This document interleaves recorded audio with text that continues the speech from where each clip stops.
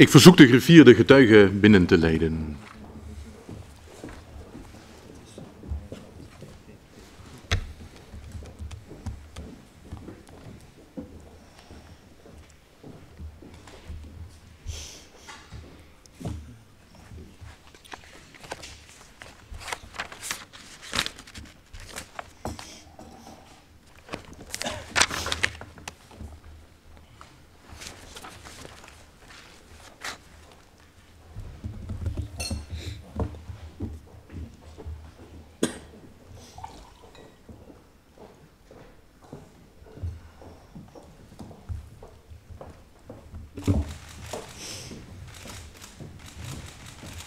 Nou,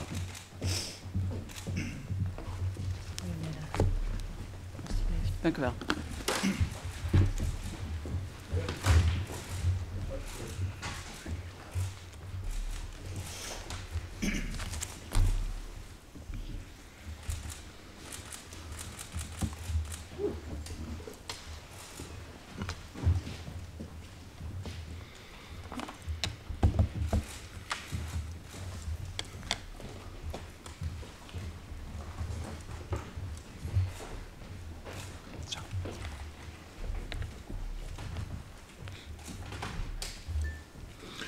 Goed. Goedemiddag iedereen. Ik open deze vergadering. En aan de orde is het openbaar voor van mevrouw Dekker. Mevrouw Dekker, goedemiddag. Goedemiddag. Namens onze hele parlementaire enquêtecommissie woningcorporaties. Dank u wel. Wij onderzoeken het hele stelsel van corporaties en opzet en werking daarvan. We kijken ook naar incidenten. En we willen weten wat er nou allemaal gebeurde en hoe dat gebeurde. En zeker ook wie verantwoordelijk waren. En vandaag, mevrouw Dekker, eh, concentreren wij ons op de rol van de regering in al die zaken. Aangezien de regering met allerlei wet en regelgeving heel veel impact heeft op wat er gebeurt in coöperatieland. En in dat verband, mevrouw Dekker, bent u opgeroepen als getuige. Het verhoor met u vindt plaats onder Ede. En u heeft gekozen voor de eed dat u de gehele waarheid en niets dan de waarheid zult zeggen. Als u even wil gaan staan. Mij nadoet. Zo waarlijk helpen mij God Almachtig. Zo waarlijk helpen mij God almachtig. U staat onder Ede, mevrouw Dekker. Neemt u plaats.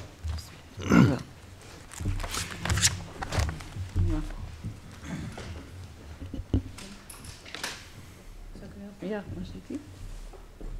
Er was nog een stand van meneer Remkes. Dat is... Dat zou heel goed kunnen.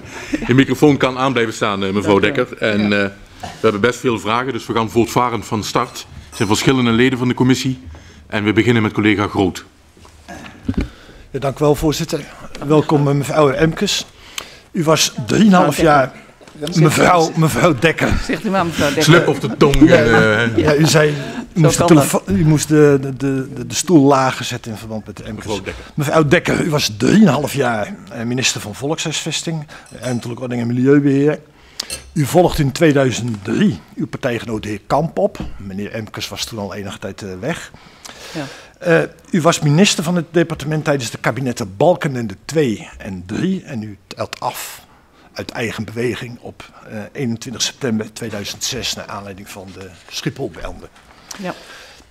Ik wil beginnen met een algemene vraag over eh, uw beleidsvisie. Zoals u die eh, verwoord hebt in een algemeen overleg op 26 mei 2005. En toen zei u dat met de budgettering niet alle problemen eh, waren opgelost. En dat het arrangement tussen overheid en woningcorporaties na tien jaar eh, aanpassingen behoefde. Ja, mijn eerste vraag is: welke problemen zag u? Nou, de problemen die ik zag waren met name het eh, ontbreken van voortvarendheid met betrekking tot de prestaties. Als het ging om de prestaties, die de afspraken die er geleverd moesten worden tussen de woningcorporaties en de gemeente, was dat een van de grote thema's. En dat was waarop ik dus ook de verschillende brieven van juni en december als eh, beleidslijnen heb neer, neer weergegeven. Dat was het belangrijkste, want u zegt ook in dat eh, algemeen overleg. Dat gaat ook over het afbakenen van het werkdomein. Ja. Het gaat om, over de toezichtstructuur die onduidelijk zou zijn. Administratieve lasten. Ja. En die dingen kwamen erbij. Maar u zegt de, zicht op de prestaties van de, van de woningcorporaties was het belangrijkste. Ja, dat was eigenlijk de kern van, uh, van mijn beleid. Uh, met daarnaast natuurlijk ook de, het volgen van, de, van de, dat er echt prestatieafspraken konden worden gemaakt. Ja. En dat de gemeente ook zicht kreeg ja. en krijgt op de, uh, zeg maar de mogelijkheden van investeren. Op dat specifieke thema hebben we ook inderdaad nog een aantal vragen. Okay. Maar als het gaat om uh, sturing op prestaties, of, dan lag er al een woonwet klaar van uw voorganger, staatssecretaris Emkes, die al dit soort dingen ook benoemde. Dat kon u zo overnemen. Waarom deed u dat niet? Dat deed ik niet, omdat uh, op de eerste plaats lag er een, uh, toch een heel nadrukkelijk negatief advies van de Raad van State. Uh, waarop het op een tiental punten toch, laat ik maar op zijn zacht gezegd, werd omschreven dat het niet overtuigend was. En dat, de, wat men zei, de codificatie van alle onderwerpen die de woonwet voor de wooncorporaties, ook een nieuwe term die toen door de heer Remkes is ingevoerd, dat dat niet dekkend zou zijn. En dus dat er allerlei open lijnen nog open overbleven. Plus dat de afbakening met de wet stedelijke vernieuwing ook nog een thema was. Dus er waren in die, dat advies van de Raad van State was zodanig negatief dat ik vond dat ik daar toch eerst mijn eigen afweging over de wet en over de intenties van die wet wilde maken. En de intentie van de wet was natuurlijk nadrukkelijk de bestuursverhoudingen tussen Rijk, provincie en gemeente. En de woonkwaliteit. Dat kwam heel scherp in de, in de, eerste aanzet. In de woonwet, ja, ja. ja, naar voren. Dat, dat als eerste antwoord. Uh, misschien dat ik ook nog mag toevoegen dat ik nog even heb gekeken en gelezen het ACTAL-advies, wat daar was. Ik heb dat gelezen als die, uh, het advies dat dat toch ook negatief was. Want men spreekt daar over het uh, verhoging van administratieve lasten en een aantal kosten voor het bedrijfsleven. Dus ik heb het ACTAL-advies ook, was ook dat, nog eens negatief. Dat ACTAL-advies gaf ook aan dat er per saldo juist een verlaging van administratieve lasten. Nou, ik, ik, u zegt het, ik heb, die brief, uh, ik heb de brief uiteraard opgezocht uh, en ook gelezen, maar ik, daar staat heel nadrukkelijk in op bladzijde 1 wat betreft de kosten en op bladzijde 2 wat betreft de lasten. Maar daar hmm. verschillen we dan in, ja, denk ik, wat, wat het zicht op de inhoud van de brief betreft. Van, van plussen en, en minnen. Uh, meneer Remkes die zei vanochtend, ja die wetstechnische bezwaar, daar was wel een mouw aan te passen heb je ook eh, in het, in het, begin van de VO de heer Moerkamp gehad. Dat is gewoon een, een geënormeerde volkshuisvestingsspecialist. Die zei dat hij met overtuiging aan die woonwet uh, gewerkt had. Mm -hmm. En eh, de heer Emkes zei, uh, ja het was eigenlijk politiek advies van de Raad van State. Dat is verder prima, maar uh, men, wilde, men wilde gewoon niet aan sturing in, het, in, in, in dat Raad van State advies. Wat vindt u daarvan? Nou, weet u, de, de, kijk, ik, ik, blijf even weg van het feit of, de, of het een politiek advies is geweest. Zo heb ik het niet gelezen, dat kan ik ook niet beoordelen. Uh, wat, ik, wat ik wel kan, kan zeggen is dat ja, de woonwet lag er, maar ik vond het de Raad van State advies nogal indringend. dat was voor mij eigenlijk de, de leidraad om toch meer mezelf meer te verdiepen in het hele stelsel van de woningcorporaties en uiteindelijk toch met mijn beleidslijnen te komen. Ja. En als u daarnaar kijkt, dan is dat niet ver weg van de uh, woonwet. We hadden alleen een ander regeerakkoord. Hè, meedoen, meer uh, werk en minder regels. Ja. En bovendien lag er een motie van de heren Hofstra uh, en Koopmans in 2005 uh, waarin uh, die ook nog eens zeiden dat er geen grote wetgevingstraject rond de woningcorporaties moest uh, komen. Ja, dat regeerakkoord, minder egels, meer werk, minder egels. Ehm, ja, daar staat ook een, een, opvatting in over meer verantwoordelijkheden weer voor het maatschappelijk middenveld, onder de woningcorporaties. Zeker. En daar kon u zich in vinden? Ja, daar kon ik me in vinden kon ik me in vinden met de opmerkingen of de, de lijnen die ik heb uitgezet. dat de, als je werkt in een aantal gemeenten waar je toegelaten bent, of een gemeente of meerdere gemeenten waar je toegelaten bent, dan moet je natuurlijk wel presteren. En dat is wat haperde en soms ook nu nog hapert tussen de gemeente en de woningcorporatie. Ja. Het nieuwe kabinetsbeleid dat ging meer uit van het zelfregulerend uh, vermogen van de, van de sector. En ja, dat wilde u verder uh, gestalte geven. Ja. ja. Moet ik in deze context ook de, de opmerking zien die u gemaakt hebt op een symposium bij Edes, en dat is dan alweer in 2006, dat u zegt uh, dat de controle op maatschappelijke ondernemingen plaats moet maken voor meer vertrouwen? Uh, ik, ja, dat moet u zeker in dat, uh, dat licht zien. Ik heb natuurlijk niet alleen bij vertrouwen gelaten, dat wil ik toch nog eens even attenderen. Maar in mijn brieven staat ook heel duidelijk aangegeven hoe het toezicht verder natuurlijk opgepakt zou moeten worden. He, met de, eh, in de derde aspect van de, naast de prestaties en de, de, contacten met de belanghouders zoals de huurders, moet natuurlijk ook het toezicht verder uh, geprofessionaliseerd worden. Dat was een van de eerste keren dat het zo, dat het zo nadrukkelijk werd uitgesproken. Ja. Het toezicht dat komt ook aan de orde, maar het klopt toch dat uw belangrijkste prioriteit in die hele kabinetsperiode de liberalisering van het huurbeleid was? Dus één van mijn prioriteiten zeker. Niet de, uh, maar één van de.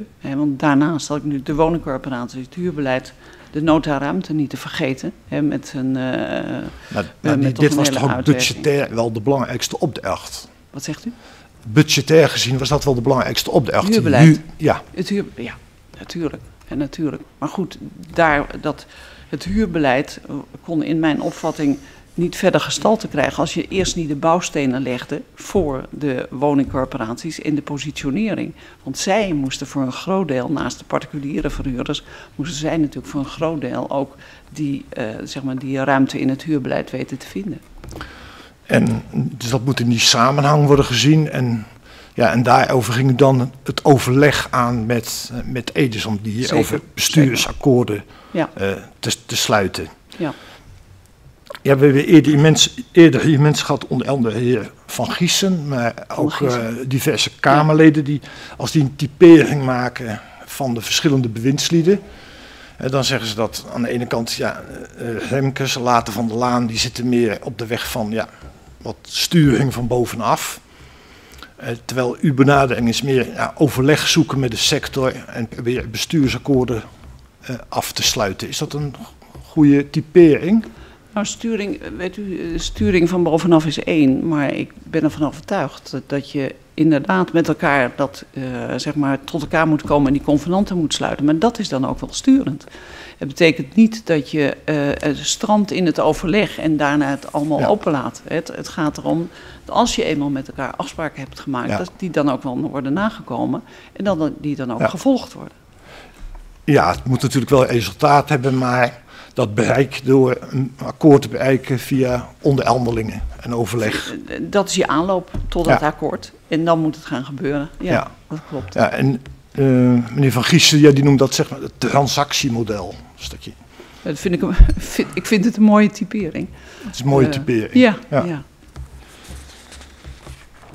Je ziet dan ook dat de, in uw periode de overlegfrequentie met, uh, met Edes duidelijk, uh, duidelijk gaat toenemen.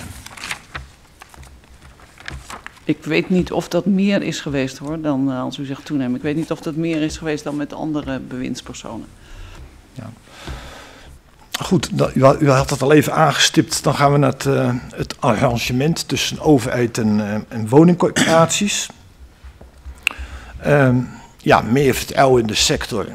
Uh, dat betekent ook een, dat je dan vertrouwen moet hebben in het intern toezicht van een woningcorporatie. Ehm, maar er waren al toch een groot aantal rapporten verschenen in die tijd onder andere van het Centraal Fonds Volkshuisvesting dat nogal, dat nogal kritische kanttekeningen maakte bij de werking van dat interne toezicht. Was dat voor u aanleiding om op dat interne toezicht toch wat meer greep te krijgen? Ja, mede, mede. Uh, weet u, het is uh, in de governance structuur, of je nou een, een, een maatschappelijke onderneming bent hè, of een private onderneming. Daar in de governance structuur is het interne toezicht, de raad van toezicht of de raad van commissarissen natuurlijk van evident belang. Als zich dat niet verhoudt, als de eh, Raad van Toezicht of de Raad van Commissarissen niet sterk is in zijn toezichtsuitvoering, dan ontbreekt er wat in het, uh, in het zoeken van de balans ook naar de directeur-bestuurder. En ik heb vanaf meet af aan heb ik, uh, aangegeven dat er die, dat interne toezicht echt geprofessionaliseerd moest worden en verder ontwikkeld moest worden. Wilden ze een echte countervailing power zijn voor de directeur-bestuurder. Ja, een oproep is één ding, maar heeft ook maatregelen genomen om dat wettelijk wat meer te verankeren? Nee, wettelijk niet. Uh, ik heb op de eerste plaats een oproep gedaan bij de Vereniging van Toezichthouders voor de woningcorporatie. Ik heb daarbij in een, uh, een jaarvergadering of een jaarcongres heb ik gesproken. Ook aangegeven wat ik, heb, wat ik verstond en versta onder uh, de professionalisering en de kwaliteitsverbetering. Bijvoorbeeld ook aangegeven dat als een directeur-bestuurder uittreedt uit zijn functie, dat het dan niet te doen gebruikelijk is. Uh, of althans in mijn opvatting niet correct is, dat uh, hij, uh, meestal een hij, overstapt naar de, direct overstapt naar de Raad van Commissarissen. Daar hoor je gewoon een termijn van enige afstand van te nemen, voordat je in die toezichthoudende rol stapt. Dat is één. Tweede is, ik heb aangegeven dat ik vind dat de kwaliteit, dus de deskundigheid op de verschillende terreinen van de, uh, van de woningcorporatie ook vertegenwoordigd zouden moeten zijn in die raad van commissarissen, zoals je dat overal Maar dit, dit zijn dan morele oproepen die je doet. En dat wordt niet in regels vastgelegd. Nee, maar ik vind ook niet dat je dat onmiddellijk in regels hoeft vast te leggen. Op dat moment was dat ook niet zo uh, aan de orde. Het feit dat ik oproep tot professionalisering en toch ook een duidelijke aanwijzing, vingerwijzing moet ik zeggen, om niet te verwarren met de formele aanwijzing, mm -hmm. was al toch al een hele stap. En dat, dat landde toch wel behoorlijk in de groep van toezichthouders. Ja. Toch zijn die dingen die je noemt, dat maakt allemaal onderdeel uit van, van een goede governance code. Ja. En we hebben toen ook de commissie SAS gehad. Die ja. heeft geadviseerd om die governance code wettelijk te verankeren. Ja. Maar waarom doet u dat dan niet? Ja, omdat, dat je, eh, omdat in mijn opvatting eerst toch je algemene beleidslijn belangrijk is, dat je die neerlegt en vervolgens de uitwerking uh, past. Ik dacht over dat commissie SAS wat later, uh, heb ik in mijn hoofd, in 2007. 2003? Oké, okay, dank. Maar dat heb ik dan even gemist, dank u wel. Uh, ja, hetzelfde geldt voor uh, de WR. Dat is al in 2004 om de, om de positie van de Raad van Toezicht wettelijk te erkennen. Ja, want weet u, dat geldt allemaal uh, in de lijn van het kabinet, waarop wij uitgingen van minder regelgeving. En uh, daar, in die lijn heb ik ook uh, willen werken. Mm-hmm. Dus zeg maar de, de wens om de administratieve lastendruk te verminderen, dat stond in de weg ja, om, om de regels voor het interne toezicht aan ja, te scherpen. Het stond, het stond in de weg, maar in ieder geval heb ik daar niet, uh, niet toe besloten om dat vervolgens ook in uh, regelgeving uh, neer te leggen. Om eerst het totale construct neer te leggen van het stelsel en vervolgens daarin verder te kijken. In het kader van een vermindering administratieve lastendruk ja, besluit u ook dat woningcorporaties minder gegevens hoeven aan te leveren bij het Centraal Fonds. Was dat nou wel verstandig? Daar moeten we mee helpen, want dat heb ik niet voor ogen dat ik minder gegevens uh, zou over aangeven. Ja, misschien moet ik het andersom formuleren. Het, het, het Centraal Fonds dat, ja. uh, dat moet zich, kan zich alleen beroepen op jaarverslaggegevens. Ja. Ja. En dat wil wat meer gegevens op vraag krijgen, maar dat, dat mag dan niet vanwege om, omwille van de administratieve lastendruk. Ja. ja, bijvoorbeeld. Ja, dat kan. Maar mijn vraag dat... is, is dat nou verstandig? Want nou, heb je dan een externe toezichthouder met tanden, als, als, als die zich alleen maar moet beroepen op jaarverslagen die iedereen kan zien? Nou weet u, ik denk dat een toezichthouder die zich baseert op jaarverslagen en, en verdere kennis van, het, uh, van de corporatiesector. En ik moet zeggen, het Centraal Fonds is eigenlijk een heel belangrijk kennisinstituut, is en is geweest. Ja. Uh, vind ik dat ook een toezichthouder vanuit de jaarverslagen en de signalen die er zijn, heel goed daarmee kan opereren. Als er aanleiding is om dan nog meer gegevens te vragen, hè, als en dat, dat zo wilde, zou zijn. En die, die bevoegdheid wilde het Centraal Fonds Ja. krijgt, krijgt het niet. Ja, dat, dat is zo. daar kan ik geen ander antwoord op geven dan ik, dat ik waarschijnlijk niet voldoende de, de noodzaak op dat moment uh, heb ingezien uh, om daar verder toe over te gaan.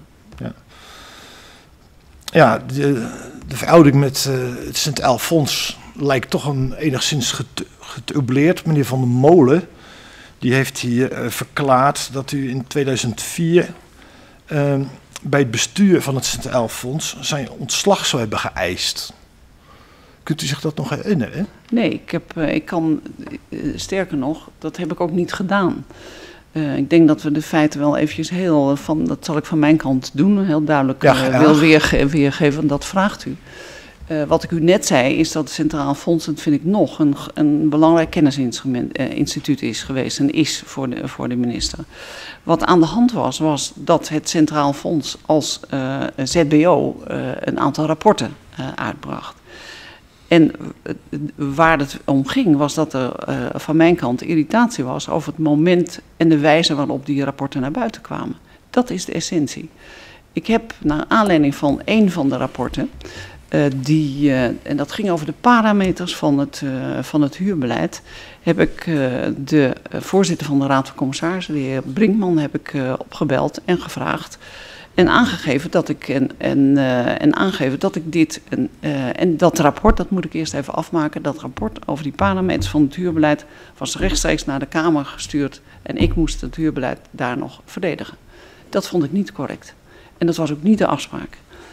Ik heb een uh, gesprek op 14 december 2004 gehad waarin heel duidelijk hebben we een aantal een procedure waarin we de irritatie van beide kanten, want die is er dan altijd van twee kanten, heb uitgesproken en heb aangegeven dat ik dat op deze manier niet meer wilde en dat dat ook niet kon vanuit de positie van de ZPO.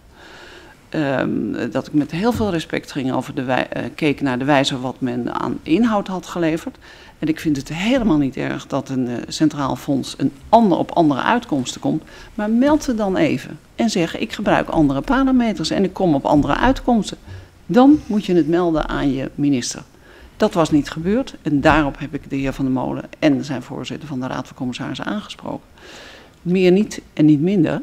En ik heb daarover een, uh, eigenlijk een procedureafspraak gemaakt hoe wij zouden moeten omgaan met elkaar.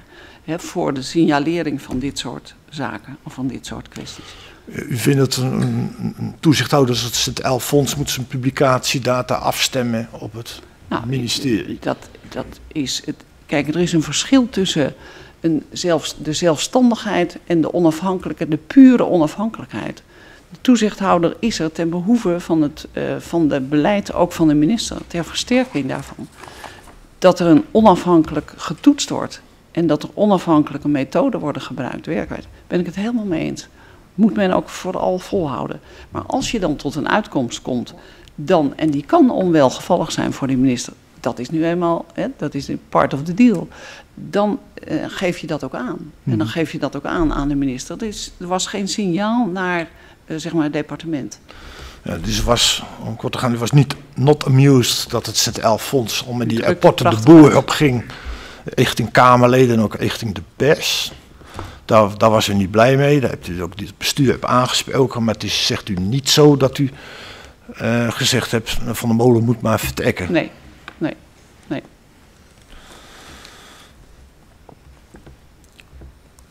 Vond u het, uh, het L-fonds lastig? Nee, ik vond ze niet lastig. Uh, want anders zou ik geen. Uh, ik vond het niet lastig. Ik, in, tegendeel, ik heb daar ook een bezoek gebracht om uh, me te laten voorlichten over de werkwijze en de wijze waarop ze onderzoeken op gang zetten. Ik vond ze niet lastig. Ik, je hebt een toezichthouder, een onafhankelijke toezichthouder, om je ook te prikkelen in, in de wijze waarop je met je beleidsinterventies, hè, dat kan een, een mogelijke uitkomst zijn. Dus ik vond ze niet, niet lastig. Het ging veel meer over stem nou even af wat, je, wat het moment kan zijn. Hoe kun je dat dan nog versterken? Um, en dan niet zelfstandig buiten uh, zeg maar het departement en de minister omgaan naar de Tweede Kamer. Dat was een punt. -hmm. Dan gaan we naar 2004. Dan neemt uh, de Tweede Kamer die neemt het initiatief voor een uh, parlementair onderzoek om zich voor te bereiden op eh, de wijziging van het BBSH, het besluitbeheer sociale huurwoningen, wat u heeft eh, aangekondigd. De Kamer wil zichzelf uh, voorbereiden, dat hebben we hier gehoord van de diverse Kamerleden. En uit het onderzoek komt onder andere naar voren dat het de vraag is of het grote vermogen van de woningcorporaties wel op een efficiënte en effectieve manier wordt ingezet. En dan zegt u in een reactie op dat rapport dat u het een, een goede analyse vindt, maar dat u kiest voor een andere uitwerking. Wat vond u dan goed aan die analyse en waarin verschilt nu uh, uw opvatting over hoe dat verder uitgewerkt moet worden? Nou ja, weet u, in mijn uitwerking heb ik dat ook aangegeven. Mijn uitwerking heeft natuurlijk alles te maken met het feit dat je de, de, positie van de woningcorporaties als maatschappelijke ondernemingen dusdanig neerzet dat er ook een mogelijkheid is dat zij verder kunnen uh, zeg maar investeren in waar ze voor zijn. Hè, huisvesten aan de doelgroep hè, voor waar het uh, over gaat. en vervolgens dat er duidelijk moet zijn op welke wijze ze ze dat, dat vermogen inzetten. En dat kun je alleen maar zien als je tot goede prestatieafspraken en overeenkomsten komt tussen uh, gemeenten en woningcorporaties op basis van die woonvisie die er dan is. En dat volgen, wat de uh, afspraken zijn, is natuurlijk, zou het sluitstuk moeten worden hè, van, die, van die afspraak. Zo heb ik het ingezet. Mm. Zwaartepunt op afspraken met de gemeente. Ja, onderling, hè? Tussen de, de ja. onderling van de woningcorporatie. De woningcorporatie. Ja, komen we later nog, nog, okay. nog uh, over te, te, te spreken. Uh, ja, later dat jaar, in 12 december 2005, dan komt er een beleidsbrief naar de Kamer. Ja. Uh, u zit dan al 2,5 jaar. Is dat niet, niet heel laat dat je pas, als je ruim over de helft van je winstperiode heen bent, ja, dat je dan nog eens in een brief gaat, gaat voorleggen wat je van plan bent te gaan doen. Nou, nou, niet nog eens in een brief gaan voorleggen. Ik had hem aangekondigd in juni 2005, waar ik de contouren heb geschetst. Dan kunt u ook zeggen, ja, het is een half jaar terug, dan twee, jaar, twee jaar. Twee jaar, ja, ja. Ik heb, me, uh, ik heb ervoor gekozen om me in ieder geval goed te verdiepen in de uh, situatie van de woningcorporaties. Ik heb er vele bezocht. Ik heb uh, middels de wijk, wijkaanpak die ik had, heb ik vele woningcorporaties gezocht en bekeken naar de, prestaties die ze wel of niet uh, leveren. En dat is het uitgangspunt waarop deze brief tot stand is gekomen. U kunt het laat vinden, het is van belang dat het gebeurt. En helaas heeft het niet uh, zijn effect gehad wat ik uh, gewenst had. Ja, u zegt, u wilt zeker stellen de prestaties van de woningcorporaties. U wil ruimte maken voor maatschappelijk ondernemerschap. En dat, uh, dan, dat uh, verwoordt wel allemaal in de decemberbrief. Ja. ja. en dan valt het op dat die brief, ja, die staat eigenlijk vol met verwachtingen. U verwacht dat de woningcorporaties uh, zelf zullen komen tot een stakeholdersoverleg. U verwacht dat ze zich onderwerpen, zelf onderwerpen aan visitatie. U verwacht dat ze zelf initiatieven nemen tot activiteiten om leefbaarheid op peil te houden. Uh, u verwacht dat woningcorporaties uit zichzelf 90% van de productie toewijzen aan de aandachtsgroep. Uh, u verwacht dat ze zelf prestatieafspraken ma maken met gemeenten. U verwacht dat ze een responsieve houding hebben ten opzichte van de samenleving. En u verwacht dat ze een, uh, een effectieve en niet vrijblijvende zelfsturing te doen. Ja, het, het, is een opsomming van verwachtingen, maar wat, wat doet u nu om dat... om die verwachtingen in resultaten om te zetten? Eén, volgen wat er, wat, er, wat er gebeurt. En dat gebeurde via natuurlijk de, wat, wat er daadwerkelijk gebeurt. U, u benoemt nu in een hele reeks, maar ik vind dat je dat ook even vanaf de andere kant gezien. Ik vind ook dat je dat mag verwachten van een woningcorporatie. Dat men aan de slag is, dat men investeert, dat men overleg heeft met de huurders en andere stakeholders. Dat is de normaalste zaak van de wereld. Wat ik heb gedaan is nog eens onderstreept uh, op welke manier dat dan zou moeten gebeuren. En dat dat ook echt de taken zijn van de woningcorporaties. Die we hard nodig hebben om onze hele, want er was nog een uh, lijn die ik heb uitgezet, die we natuurlijk hard nodig hebben om de hele woningmarkt meer in evenwicht te brengen. Kijk nu even van toen, hè? Niet, niet nu zoals het nu is, maar toen, waarin de woningmarkt, waarin het heel normaal was. Ik heb toen een aantal van 445.000 woningen genoemd tot en met 2010. Het was toen heel normaal dat je gemiddeld, zeg maar 90.000 woningen, nieuwbouwwoningen neerzetten als een, uh, als een lijn waar, waarin gehandeld en gebouwd zou moeten, moeten worden. Ook om die doorstroom te ja. verwerkelijken. Maar waar het om gaat is, van, u zegt, ik wil de prestaties van woningcorporaties zeker, zeker. stellen. Ja.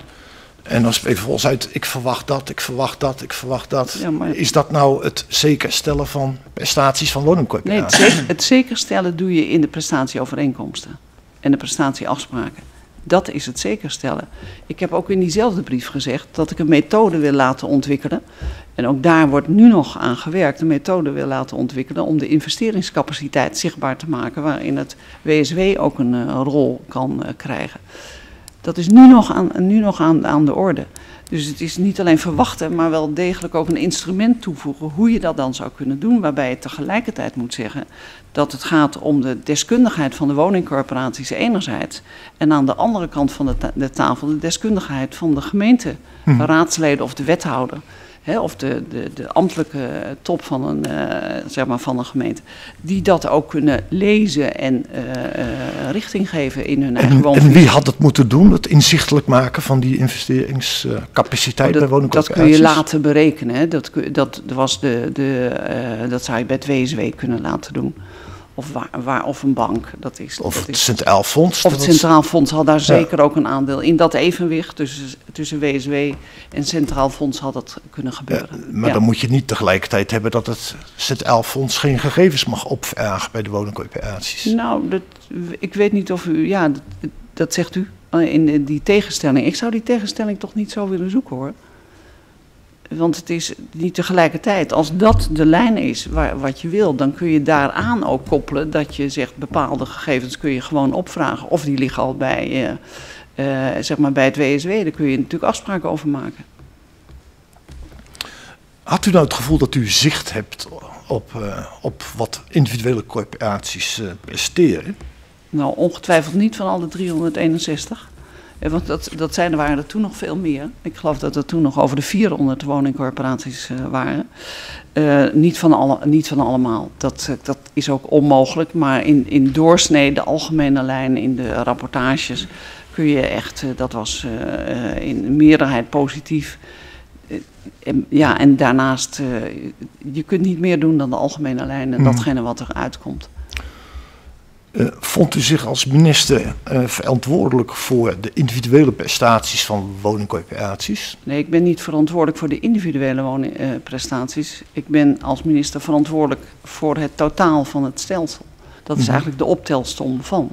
En je zoomt in op de individuele woningcorporaties zodra de, presta zodra de prestaties achterblijven of zodra er een incident is hè, of mm -hmm. een bijzondere situatie. Dus niet verantwoordelijk voor het individueel presteren van woningcorporaties. Ja, in artikel 33 van het BBSH staat... Onze minister vormt zich jaarlijks voor 1 december een oordeel over de werkzaamheden van de toegelaten instelling in het aan die datum voorafgaande verslagjaar. Ja. Hoe ja. verhoudt zich dat met elkaar? Nou, dat, dat betekent dat je, dat je in grote lijnen zicht hebt op datgene wat de uh, optelsom van de individuele woningcorporaties uh, brengt. Maar uh, als u zegt verantwoordelijk voor de individuele woningcorporaties. Ik voel, uh, precies zoals het daar staat, ik behoor een, uh, een zicht te hebben. Dat is iets anders mm. dan verantwoordelijk zijn voor de individuele woningcorporatie. Dus niet voor de individuele corporatie, maar u voelt zich wel verantwoordelijk voor het collectief presteren van de, ja, dat, van, dat, van, de, van de woningcorporaties. Ja, dat voel ik, maar dat, dat ben je ook als minister. Dat, dat ben je ook als minister. Ja. Nou, Edes is het daar niet niet mee eens. Dat blijkt ook uit een, een briefwisseling bij, uh, met uw departement.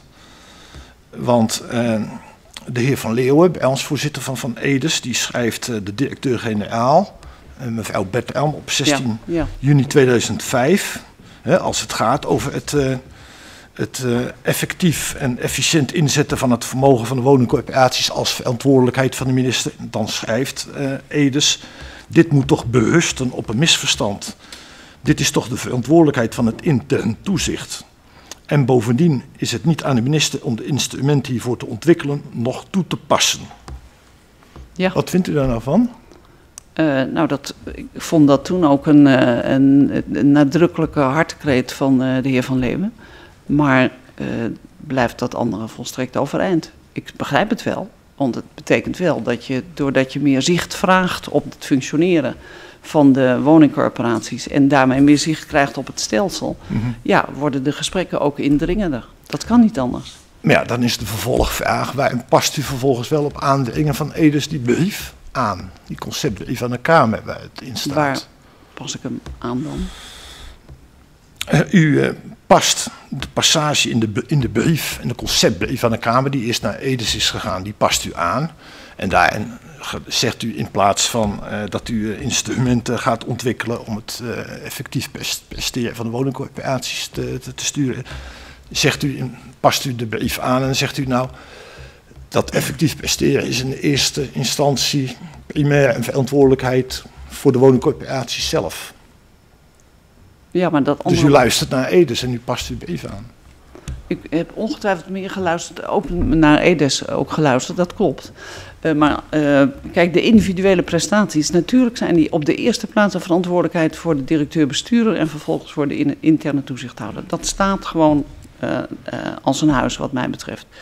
Dat herhaal ik nog een keer in die brief, maar ik laat het andere niet los. Want dat ziet u in de brief van, van december 2005 geef ik wel degelijk aan dat die prestatieafspraken moeten worden geleverd en dat de investeringsruimte ook moet worden benut hè, voor de woningcorporaties.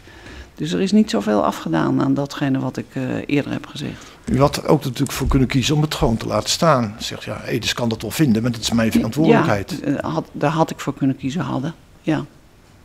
Maar Edis had wat dat betreft toch wel veel invloed op uw. Uh, nou, want dat zien we voortdurend in briefwisselingen, dat, dat de commentaar van Edis komt en dat uh, brieven worden, worden afgezwakt, aangepast.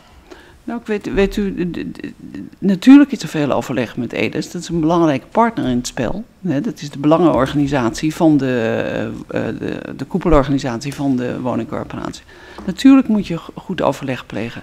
En je moet er ook naar luisteren, maar niet in, niet in alles.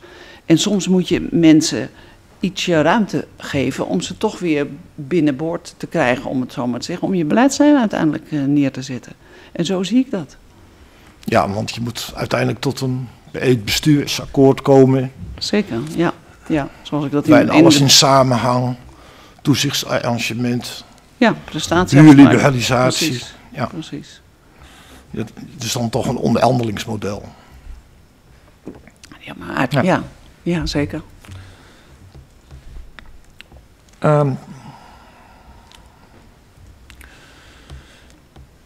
nog even weer terug naar de, de beleidsbrief die u in december 2005 naar de Kamer stuurt.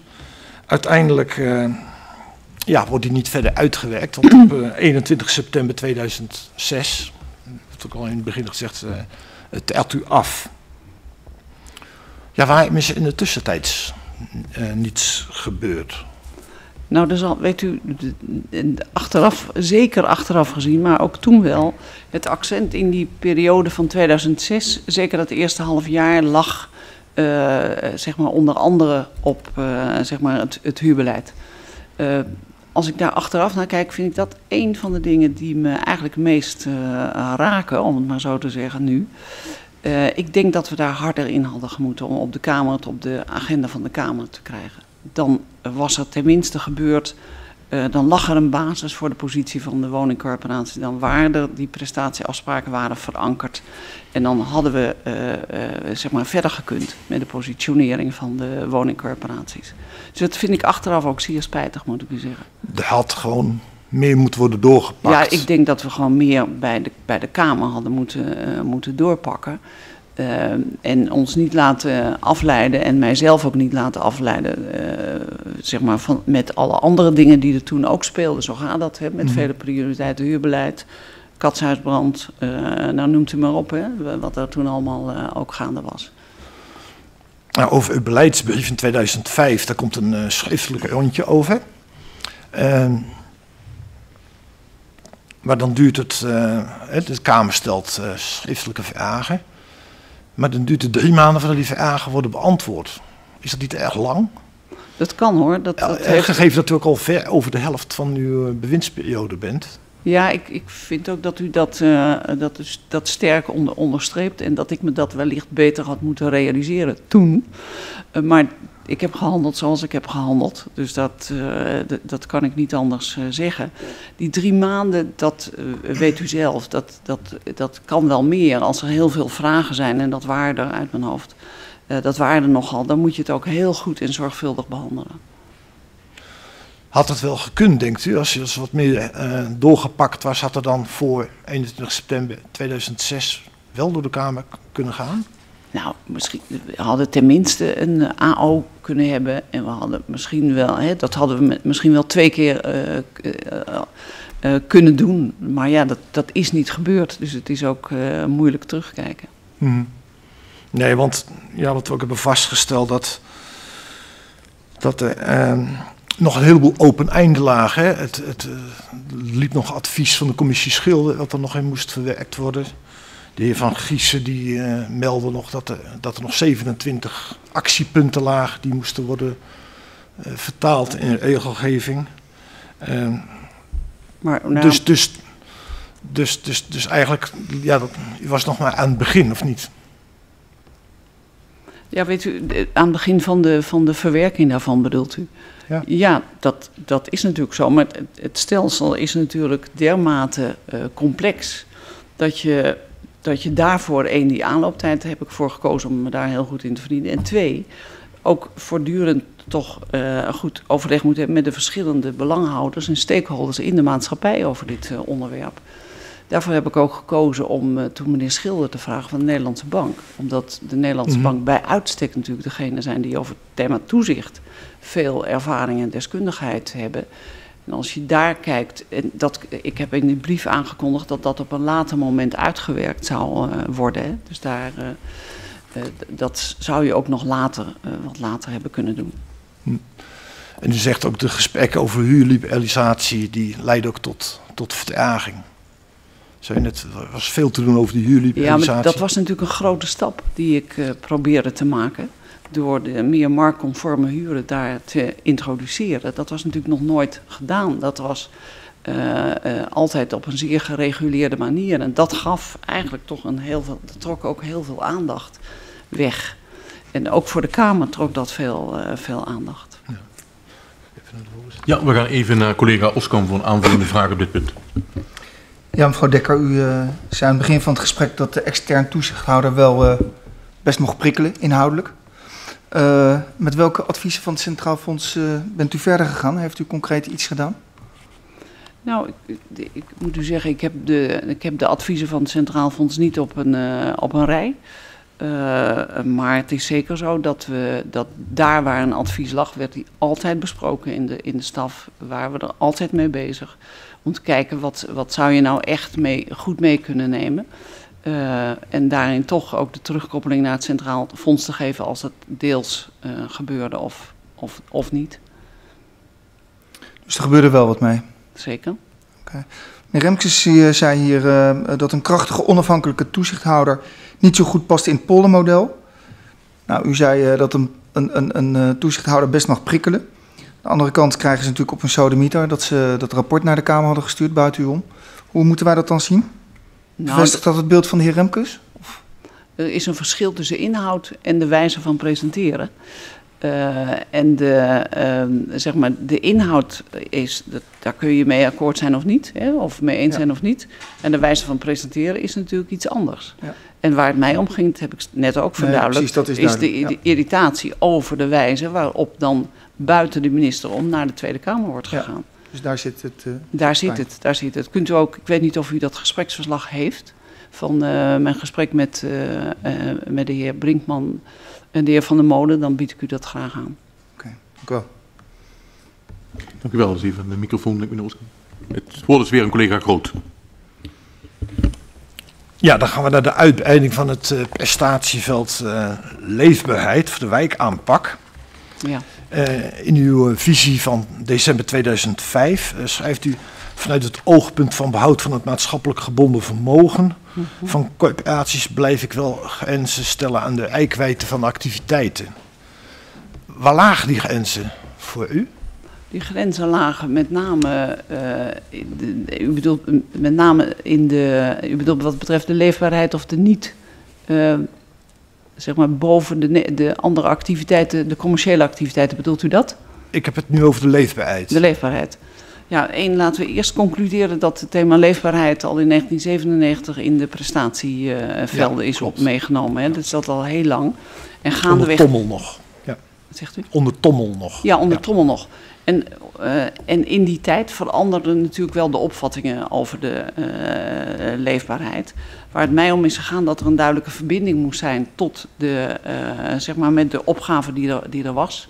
Bijvoorbeeld in wijken, in een wijkaanpak, dat het als je investeerde in wat we later maatschappelijk vastgoed zijn gaan noemen, dat dat natuurlijk altijd wel een relatie met de volkshuisvesting zou moeten hebben. En, niet extreme andere zaken die er los van stonden. Oké. Minister van der Laan die stuurt een paar jaar later, uh, op 24 juli 2009, een, een, brief naar de Kamer. En waarin een aantal voorbeelden geeft van uh, nevenactiviteiten sinds ja. 1999. En hij zegt dat, daarin, dat de, in de loop der tijd de definitie van wat nou aanvaardbaar, aanvaard maatschappelijk vastgoed is, dat dat steeds is uh, opgerekt, dat het uitgebreid ja. is. merkt u dat ook al tijdens uw bewindsperiode? Nou, dat die grenzen verschoven? Het was wel zaak dat, dat uh, goed te benoemen als het ging over grote projecten. He, vaak werd er geduid over de ontwikkeling bijvoorbeeld van een appartementencomplex met daaronder de plint, zoals we dat dan uh, zo mooi noemen. He. Ja. En dan ging het erom of of de ontwikkelingen ook, of voor die, de plintontwikkeling voor de, bijvoorbeeld voor, de, voor winkels uh, zou moeten gebeuren. En hoe je dat dan zou moeten verwer, verwerkelijken. Dat soort, of dat er bijvoorbeeld een brede school gebouwd zou kunnen worden in de hele wijk, daar waar het om de herstructureringsopgave ging. Dat soort vragen waren er altijd. En ik denk dat het goed is dat die vragen op tafel kwamen, want dan kende je ze tenminste, dan kon je het ook toetsen mm -hmm. en, en uh, bespreken.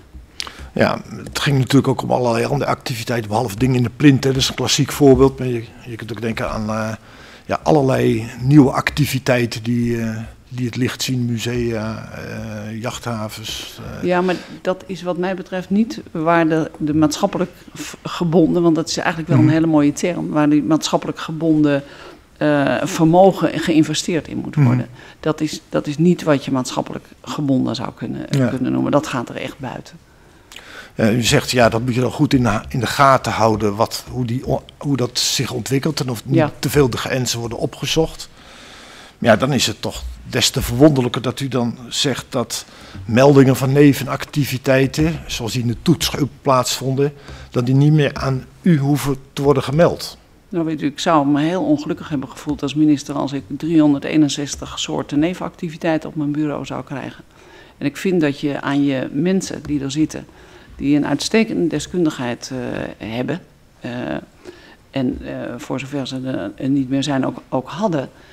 dat je daar ook de eerste screening aan moet overlaten. Het kan niet zo zijn dat je als, in mijn opvatting van besturen, kan niet zo zijn dat je, als minister van alle woningcorporaties de nevenactiviteiten moet beoordelen.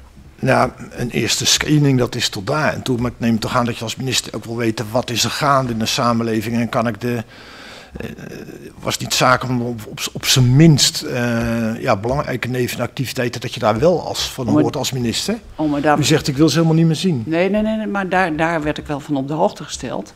Van de, van de grote lijn die er, die er was. En, en natuurlijk ook de, de meest, laten we maar even zeggen, de, de bijzonderheden. Ik wil nog niet, niet spreken over excessen. Maar de, de bijzonderheden, daar werd ik wel van op de hoogte gesteld. Maar de, de, de totale breedte van die, die activiteiten en de besprekingen daarover. Nou weet u, dan heb je echt, uh, daarin moet je toch echt ook vertrouwen op datgene wat je mensen uh, je aangeven. En je, je kunt het ook wel toetsen in de gesprekken die je zelf hebt in het land. Daar hoor je ook heel veel van. Mm -hmm. En dat was ook mijn, uh, zeg maar een opzet en dat heb ik ook gedaan. Zeg maar zeker één tot twee, twee keer, één keer in de week naar de wijken gaan en, naar, en de verschillende corporaties en gemeenten ook bezoeken. Hm.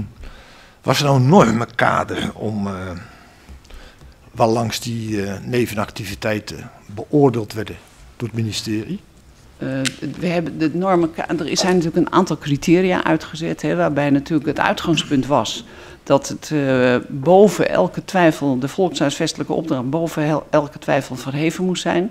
Dat het niet, zeg maar, de continuïteit van de woningcorporaties daarmee in het geding zou, zou komen. En dat de nevenactiviteit moest passen of in het verlengde moest liggen van de opgave die de woningcorporatie heeft.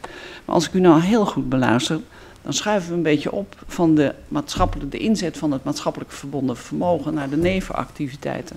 Dat, daar zit ook nog een gebied tussen. Hè. De maatschappelijk gebonden, uh, de inzet van dat vermogen of dat kapitaal heeft, er, heeft natuurlijk met name te maken naar, met datgene waar de, die volkshuisvestelijke opgave versterkt zou kunnen worden. Dat is eigenlijk waar het over gaat. Wat je niet kunt financieren met, geborgd, uh, met een geborgde financiering, maar op een andere manier moet financieren. En dan valt het weer in de categorie nevenactiviteit. Ik begrijp het niet, uh, niet goed bedoeld. U zegt tussen de volkshuisvestelijke opgave en de nevenactiviteiten, daar zit nog een gebied tussen. Nou ja, weet u, dat, dat is het. Pardon, neem me niet kwalijk. Uh, er zit een gebied tussen. Wat bedoelt u daar precies dat mee? De maatschappelijk, het maatschappelijk gebonden vermogen moet worden ingezet in die activiteiten of die bouwopgaven hè, of die ontwikkelopgaven die een relatie hebben met de volkshuisvesting. En wat je soms ziet in de nevenactiviteiten lijkt het of die er veel verder van afstaan ja. dan de omschrijving die ik ook in die brief heb eh, aangegeven dat dat echt moet gaan over de versterking van de herstructurering. Bijvoorbeeld hè, in de wijken. Dat was vaak het thema. Was u nou nog bezig met het, ja, het herijken van, het, uh, van die normen die daarvoor voor golden? Was nee. dat iets van wat voortdurend bewaakt werd? Of? Nee, weet u, niet, niet, ja, ik denk niet dat je over herijken kan, uh, uh, kan spreken. ik zou veel meer zeggen dat het bewaakt werd en dat er ook van die uh, uh, bijzondere uh, voorstellen naar voren kwamen. U noemde al even de een jachthaven, hè, of u noemde al even, nou laten we de, de, maar een sportaccommodatie. Dat zijn natuurlijk, die, die plotten natuurlijk op, omdat men als woningcorporatie kansen dacht te hebben om ja. zoiets ook te ontwikkelen en te bouwen. Mm -hmm. Dat zagen we ook wel, dat de woningcorporaties steeds meer de grenzen gingen opzoeken. Ja, dat, dat zag je natuurlijk. Dat zag ja. je natuurlijk. Ja. Maar het was geen aanleiding om om nou, die... weet u, ik, ik wou, u wilde u dan toch even attenderen op het feit dat ik in mijn brief een nadrukkelijke scheiding heb, heb gemaakt tussen datgene van activiteiten voor de, die voor de doelgroep worden verricht, de woningbouw. Hè, en het onderhoud en de renovatie van de voorraad, zoals we dat noemen. En vervolgens het, de commerciële activiteiten. Dat is al een hele belangrijke stap waarin je richting geeft aan de woningcorporaties. Om te zeggen, dit is je kernactiviteit, mm. dit is je hoofdtaak. Mm. En daarnaast komen die andere activiteiten. En dat is ook ernaast. En dit is waar het eigenlijk om gaat. Dat was, dat was volstrekt nieuw. Daar was men ook niet blij mee, moet ik u zeggen, maar dat, dat weet u. Uh, en dat heb ik daarin toch aangegeven. Mm -hmm. administratief of juridisch. Ja regels en één ding naleving uh, iets anders. Wat we hebben geconstateerd is dat uh, woningcorporaties lang niet altijd een nevenactiviteit melden, terwijl dat wel uh, verplicht is. wist u dat en hebben uw ambtenaar dat gemeld? Dat de hand gelegd werd aan de meldingsplicht? Met de, handings, met de meldingsplicht? Ze hebben dat ongetwijfeld gedaan, maar ik weet het niet. ik weet niet wanneer en hoe. Dat weet ik niet op dit moment het is in ieder geval niet iets waar u zich zorgen over hebt gemaakt dan blijkbaar. Nou, ik heb me heel, heel druk gemaakt over, over zaken die uh, de nevenactiviteit verre overstegen, zoals u weet. Daar hebben we wel een paar casussituaties uh, van. Uh, dus dat, daar maakte ik me wel degelijk druk over. Mm -hmm. Maar kunt u zeggen dat u iets gedaan hebt aan het, tegen het niet melden van nevenactiviteiten? Niet. Ik heb, ik heb naar mijn uh, weten heb ik geen brief, als u dat bedoelt, geen brief uit laten gaan naar de, naar de, uh, zeg maar naar de woningcorporaties om daar nog eens op te attenderen. Mm -hmm. Ja, woningcorporaties die hun activiteiten niet uh, melden, die, die horen een aanwijzing te krijgen. Weet u of dat gebeurd is? Ja, dat is zeker gebeurd. Er zijn een paar situaties waarin dat is gebeurd. Kunt u nog Ja, geven in, welke? in ieder geval een aanwijzing bij de. de eh, eens even kijken hoor. In ieder geval is er een aan- aanwijzing natuurlijk gegaan bij, eh, bij Servatius in, eh, in Maastricht. Daar, daar waar het ging om, over de campusontwikkeling. En in eerste instantie natuurlijk over het inzet van het maatschappelijk gebonden vermogen buiten onze landsgrenzen. Overigens geef ik dat ook in de brief aan. Dat dat Mhm. binnen, de, eh, niet zozeer schrijf ik binnen de landsgrenzen, maar wel binnen voor de, de Ja, dat zijn dan de hele, hele grote kwesties. Nou ja, ja, maar dat is ja. nogal wat. Ja, dat is nogal wat. Dat is nogal wat wat daar gebeurt. Maar de kleine, dat, dat, aanwijzingen, dat weten Ja, natuurlijk weet u, niet de, meer. Want de aanwijzing, de, het onderwerp makelaardij hebben we natuurlijk Mhm. een paar keer langs zien komen. Hè? Dus dat is zeker ook eh, aan de orde geweest. Mhm. Met een aantal andere gevallen zult u niet kennen. Want ja, immers die nevenactiviteiten werden ook niet meer aan u Nou, voorgelegd. Dus dan, dan Nou ja, weet u u, dat ook niet weten. ik ken ze inderdaad op dit moment, kan ik ze u niet eh, herhalen. Even weer terug naar die decemberbrief van 2005. Daarin zegt u bij de invulling, en dan gaat het over het arrangement tussen de woningcorporaties en de, en de overheid. eh, wil ik zoveel mogelijk ruimte bieden voor maatschappelijk ondernemerschap. Omdat ik vind dat die ruimte van grote betekenis is voor het kunnen oplossen van concrete problemen in de lokale en regionale situatie. Kunt u dat wat meer toelichten? Dat is eigenlijk waar we het straks al eh, even over hadden. Dat dat maatschappelijk verbonden vermogen echt terecht zou moeten komen bij, eh, bij ontwikkelingen. Hè, eh, die gerelateerd waren aan de opgaven, zoals in de herstructurering van de wijken. Wat natuurlijk, hè, dat was een van de tweede kernpunten waar het eigenlijk over ging. waar het al enige tijd over ging. En daar had, heeft er, had, dat had ermee te maken. Ja, en dan, en dan moet je dan toch denken aan iets taakopvatting van woningcorporaties, maar ook de leefbaarheid in de wijken eh, aan Ja. te pakken. Nou ja, weet u, de, eh, behalve dat de woningcorporaties zelf daar eh eager over waren om bijvoorbeeld een conciërge te hebben of een, bijvoorbeeld een buurtwacht in te zetten, waar, kwam het ook wel eens heel goed uit bij de gemeente. Die vonden het uitermate prettig dat woningcorporaties die taken op zich eh, namen. Eh, zonder dat zij daar overigens ook nog geld aan hoefden te besteden. En wat ik, een van de dingen die ik eh, ook heb aangegeven, dat ik vond en vind dat gemeenten toch hun eigen verantwoordelijkheid voor het publieke Mhm. domein ook moeten nemen. Dat is aan hen om dat te doen. En dat dat vaak raakt aan datgene wat een woningcorporatie doet. Natuurlijk is dat zo, maar dan maak je afspraken over waar jij op investeert Mhm. en waar de woningcorporatie investeert. En toch was wel bezig met die, eh, met die 56 wijken. Ja. En het, het was wel zaak dat woningcorporaties hun taken wat, wat breder opvatten dan alleen het stapelen van stenen. Vond u ook? Ja, maar sowieso. Ik denk, kijk, het stapelen van stenen en de, de, het bouwkundige proces is één. Maar gewoon de hele eh, buurt eh, waar, het in, waar het moet gebeuren is natuurlijk twee. En dat hebben we altijd natuurlijk heel Hmm. belangrijk eh, gevonden. En de kunst is nu een evenwicht te zoeken. Waar houdt dat nu op? Ik vind het stapelen van stenen, zo noemen we dat vaak. Maar dat doet wel afbreuk aan de functie Ja. die woningcorporaties hebben. Eh, Vond en vindt u dat die eh, inspanning voor leefbaarheid van woningcorporaties, dat het wel aan de wijk gebonden moet blijven? Ja, daar is het het beste te meten.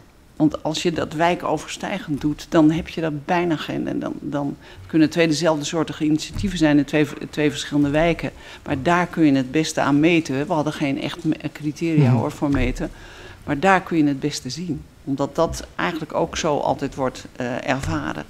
Ja, want we zien ook in de stukken dat u aan die wijkgebondenheid vasthoudt. Ja, dat, Ja. ik vind dat eh, heel belangrijk dat Ja. dat gebeurt. Ja. Ja, uw, eh, uw directeur-generaal, mevrouw Bettelm, die is ja, op de dag van uw eh, aftreden, staat in de notitie dat ze nadenkt over een, dat ze erover nadenkt om, dat, om, om dit concept te verbreden en die wijkgebondenheid te laten, te laten vallen.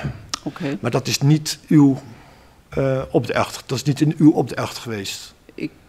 Nou, weet u, vlak voor mijn aftreden speelde een ander rapport. En dat speelde, dat was toen Ja. even mijn eh, hoofdprioriteit, om het maar zo te zeggen.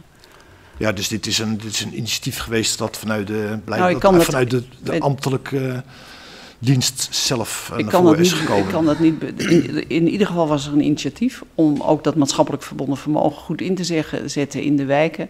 Maar ik kan dat nog bevestigen, nog ontkennen. Ik, ik, ik, kan me, ik weet niet of ik die notitie van tevoren nog heb gezien. Hmm. Maar u heeft er in ieder geval geen opdracht op eh, voorgegeven nee, van niet dat ik weet. laat die wijkgebondenheid eh, laat die los. Niet, niet bij voorbaat.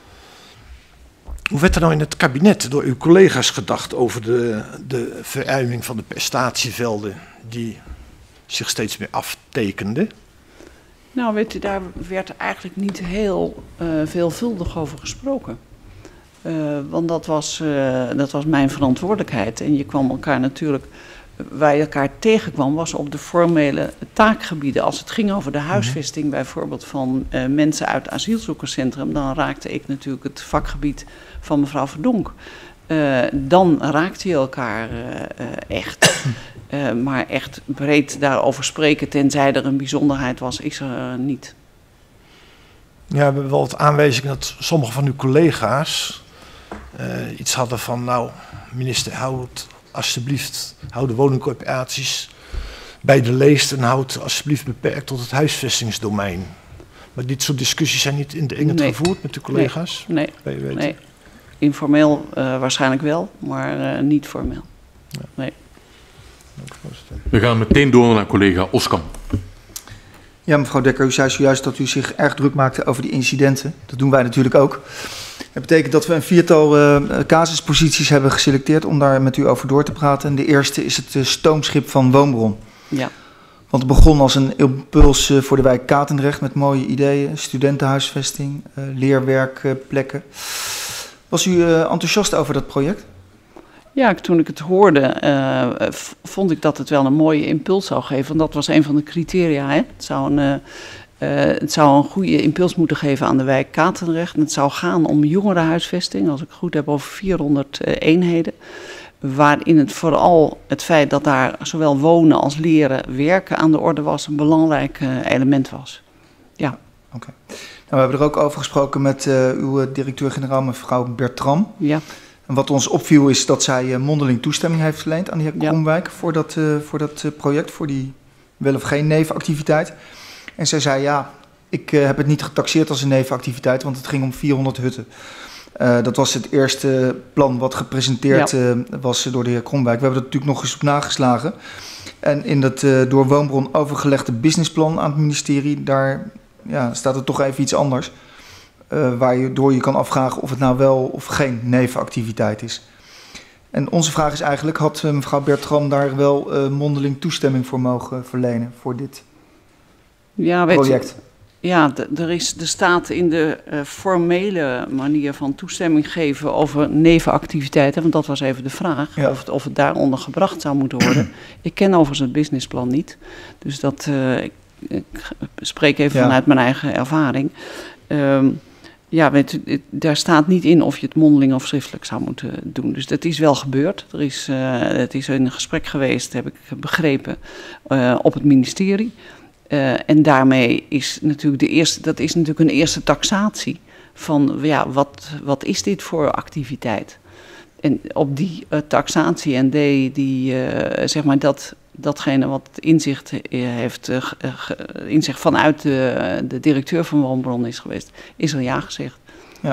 Want we hebben er ook later over, over doorgesproken met anderen. Ja, En het programma is steeds gaan schuiven. Hè, in de Ja, zin dat er steeds ja. meer commercie hierbij kwam en minder Ja. woningen. Ehm, eh, en toen is het ook wel gezegd, nou ja, het had toch wel dan tussentijds in ieder geval aan de toetsgroep eh, eh, voorgelegd moeten worden. Wat vindt u daarvan? nou, ik denk dat dat correct is. Dat had ook moeten gebeuren. Ja. En dat is, dat is helaas niet gebeurd. En wat je kunt zien is dat het in- inderdaad is gaan schuiven. Niet alleen in de, eh, zeg maar in de investeringen die er moesten gebeuren. Maar het is ook gaan schuiven in eh, ja, datgene wat er allemaal aan het schip moest eh, gebeuren. Ja. En als je daarnaar kijkt, zeg je wat er binnen dat schip gerealiseerd zou kunnen worden met die 400 eenheden voor jongeren. Hè, ten doelstelling om die jongeren uit Katendrecht, om daar naar, de, de- zeg maar de, de goede richting in te werken. Dat was een ideeel plan. Maar dat, eh, qua business zou je, kun je dat in feite niet realiseren, zeggen we nu. Nee. Nou stond u bekend als een minister die eh, haar mensen vertrouwen en ruimte gaf. Ehm, heeft u in dit geval mevrouw Bertram niet te veel vrijheid gegeven bij de toetsing van dit soort projecten of bij nevenactiviteiten? Ik denk het niet. Ik denk, weet u, dat is altijd zo lastig als je er achteraf naar kijkt. Hè? Daar, en dat is uw vraag. Uh, als je er achteraf naar kijkt, kun je zeggen: ja, dat had misschien uh, anders gemoeten, of dat had er een eerder signaal moeten komen, of dat hadden we nog eens kunnen bespreken. Maar dat, uh, ja, dat is lastig, het is niet gebeurd. Nee. Wanneer kwam nou voor u het omslagpunt dat je dacht van, nou ja, het is toch een nevenactiviteit die miljoenen euro's kost en niet een nou, die, 400 huttenboot? ja, die, kwam, die kwam pas veel later. Um, eigenlijk toen ik al was vertrokken, want in het begin was er, uh, was er natuurlijk de idee dat dit zou, uh, zou kunnen. En veel later is hij nog veel meer mank, moest het schip verplaatst worden. Kwamen de mankementen naar voren, was er asbest, bleek dat het niet zomaar zou kunnen. Dus veel later groeide die business case en was die niet, uh, absoluut niet meer sluitend. Ja, maar toen was je al weg. Toen was ik weg. Ja. ja. Een ander punt, dat ligt ook een beetje op het snijvlak tussen uw regeerperiode en uw opvolger in het prestatieoordeel over 2005. Toen zat u er wel, maar dat prestatieoordeel Zeker. kwam pas toen u net weg was. Ja. Uh, ja, wordt andere, onder andere de loftrompet over de SS Rotterdam uh, uitgesproken. En een paar jaar later blijkt natuurlijk uh, dat het een, een beetje uit de hand gelopen grap is uh, van 230 miljoen. Waarbij de commerciële activiteiten de overheid namen. Wat, wat, hoe moeten we dat met elkaar rijmen? Dat nou, toch, de, de, zeg maar, de manier van uh, die prestatieoordelen en, en de praktijk die eigenlijk veel weerbarstiger is. Ja, weet u, dat, ik denk dat u het, uh, een aantal dingen kun je niet ruim, ruim, rijmen. Een aantal dingen kun je alleen maar terugkijken hoe de dingen zijn, de zaken zijn gegaan. En we kunnen van uh, Woonbron zeggen dat we gaandeweg de tijd inzicht kregen. En dat kreeg ook het bestuur van Woonbron en de Raad van Commissarissen. Uh, van Woonbron, hoe, uh, uh, welke ontwikkeling dit eigenlijk gaf. Dit, dit liep natuurlijk aan alle kanten, liep het, liep het gewoon over de, over de, de schoenen heen. Wat betreft ja. de investeringen die zouden moeten worden gepleegd. En paste natuurlijk helemaal niet meer in de, in de activiteiten van de woningcorporatie. Ja. Nou, is het woonschip of stoomschip, moet ik eigenlijk zeggen, is natuurlijk een verhaal apart. Maar er zijn wel twee dingen waar u verantwoordelijk voor bent. Enerzijds het volkshuisvestelijk toezicht. Anderzijds het uh, financieel toezicht op de corporatiesector. Wat zegt het over de aansluiting van die twee, dit soort incidenten? Nou, weet u, de, de een dat ze, uh, ik, ik denk dat u het ook al aangeeft, dat de aansluiting tussen zowel het volkshuisvestelijke toezicht als het financiële toezicht uh, er niet voldoende is geweest. Uh, en ik hoop dat het binnenkort wel gerealiseerd wordt, want dat, dat zou echt heel belangrijk zijn voor de sector. Ja is natuurlijk uh, door schade en schande wijs worden, want we, we, hebben natuurlijk, uh, we trekken onze lessen uit uh, wat er gebeurd is. Maar had in die tijd, had het ministerie iets meer aan kunnen doen om die, om die aansluiting meer bij elkaar te brengen? Ja, dat, weet, weet u, dat was toen nog niet zo nadrukkelijk aan de orde. Dan moet je uh, eigenlijk moet je zo'n business case, hè, zoals u hem ook uh, noemt, van, uh, en dat, dat is ook waar, hè, die, dat moet je heel goed naast elkaar leggen. En dan moet je met een aantal deskundigen om tafel gaan zitten en dat nog eens analyseren. Ja. Dan, dan kom je er wel, dan kom je er wel, maar dat was toen nog niet zo nadrukkelijk aan de orde. Nee. Goed, nou gelet op de tijd laten we dat stoomschip maar even Varen. in de haven liggen. Hè? Ja. U uh, begon net zelf al over uh, uh, de makelaardijactiviteiten. Nou, een ja. van de woningcorporaties waar dat speelt is Rochdale in Amsterdam. Ja. En ehm, nou ja, u heeft, daar, u heeft daar wel het een en ander aan gedaan. Misschien kunt u ons eens even meenemen wat u toen u hoorde dat die makelaardij daar was, wat u eraan heeft gedaan. Nou, weet u, ik heb in ieder geval de, de, de directeur en de twee leden van de Raad van Commissarissen bij me geroepen. Allemaal tegelijkertijd of? Uh, ja, de, ja. Voor, zover, voor zover ik me nog kan herinneren, ja. Uh, en anders heb ik eerst de, uh, de directeur, of dat zal de DG hebben gedaan, in ieder geval de twee leden van de Raad van Commissarissen bij me gehad. dat was overigens wel de methode waarmee ik werkte als ik mensen aansprak. Eerst mondeling, dan schriftelijk als waarschuwing ja. en dan verder. Die aanwijzingen. En dan een aanwijzing. Dus opbouwen van het, uh, van het dossier en opbouwen van de, de, de acties de, vanuit de, de, minister. Dat heb ik gedaan. Ik heb de, ze aangegeven dat we al langer bezig waren daarmee.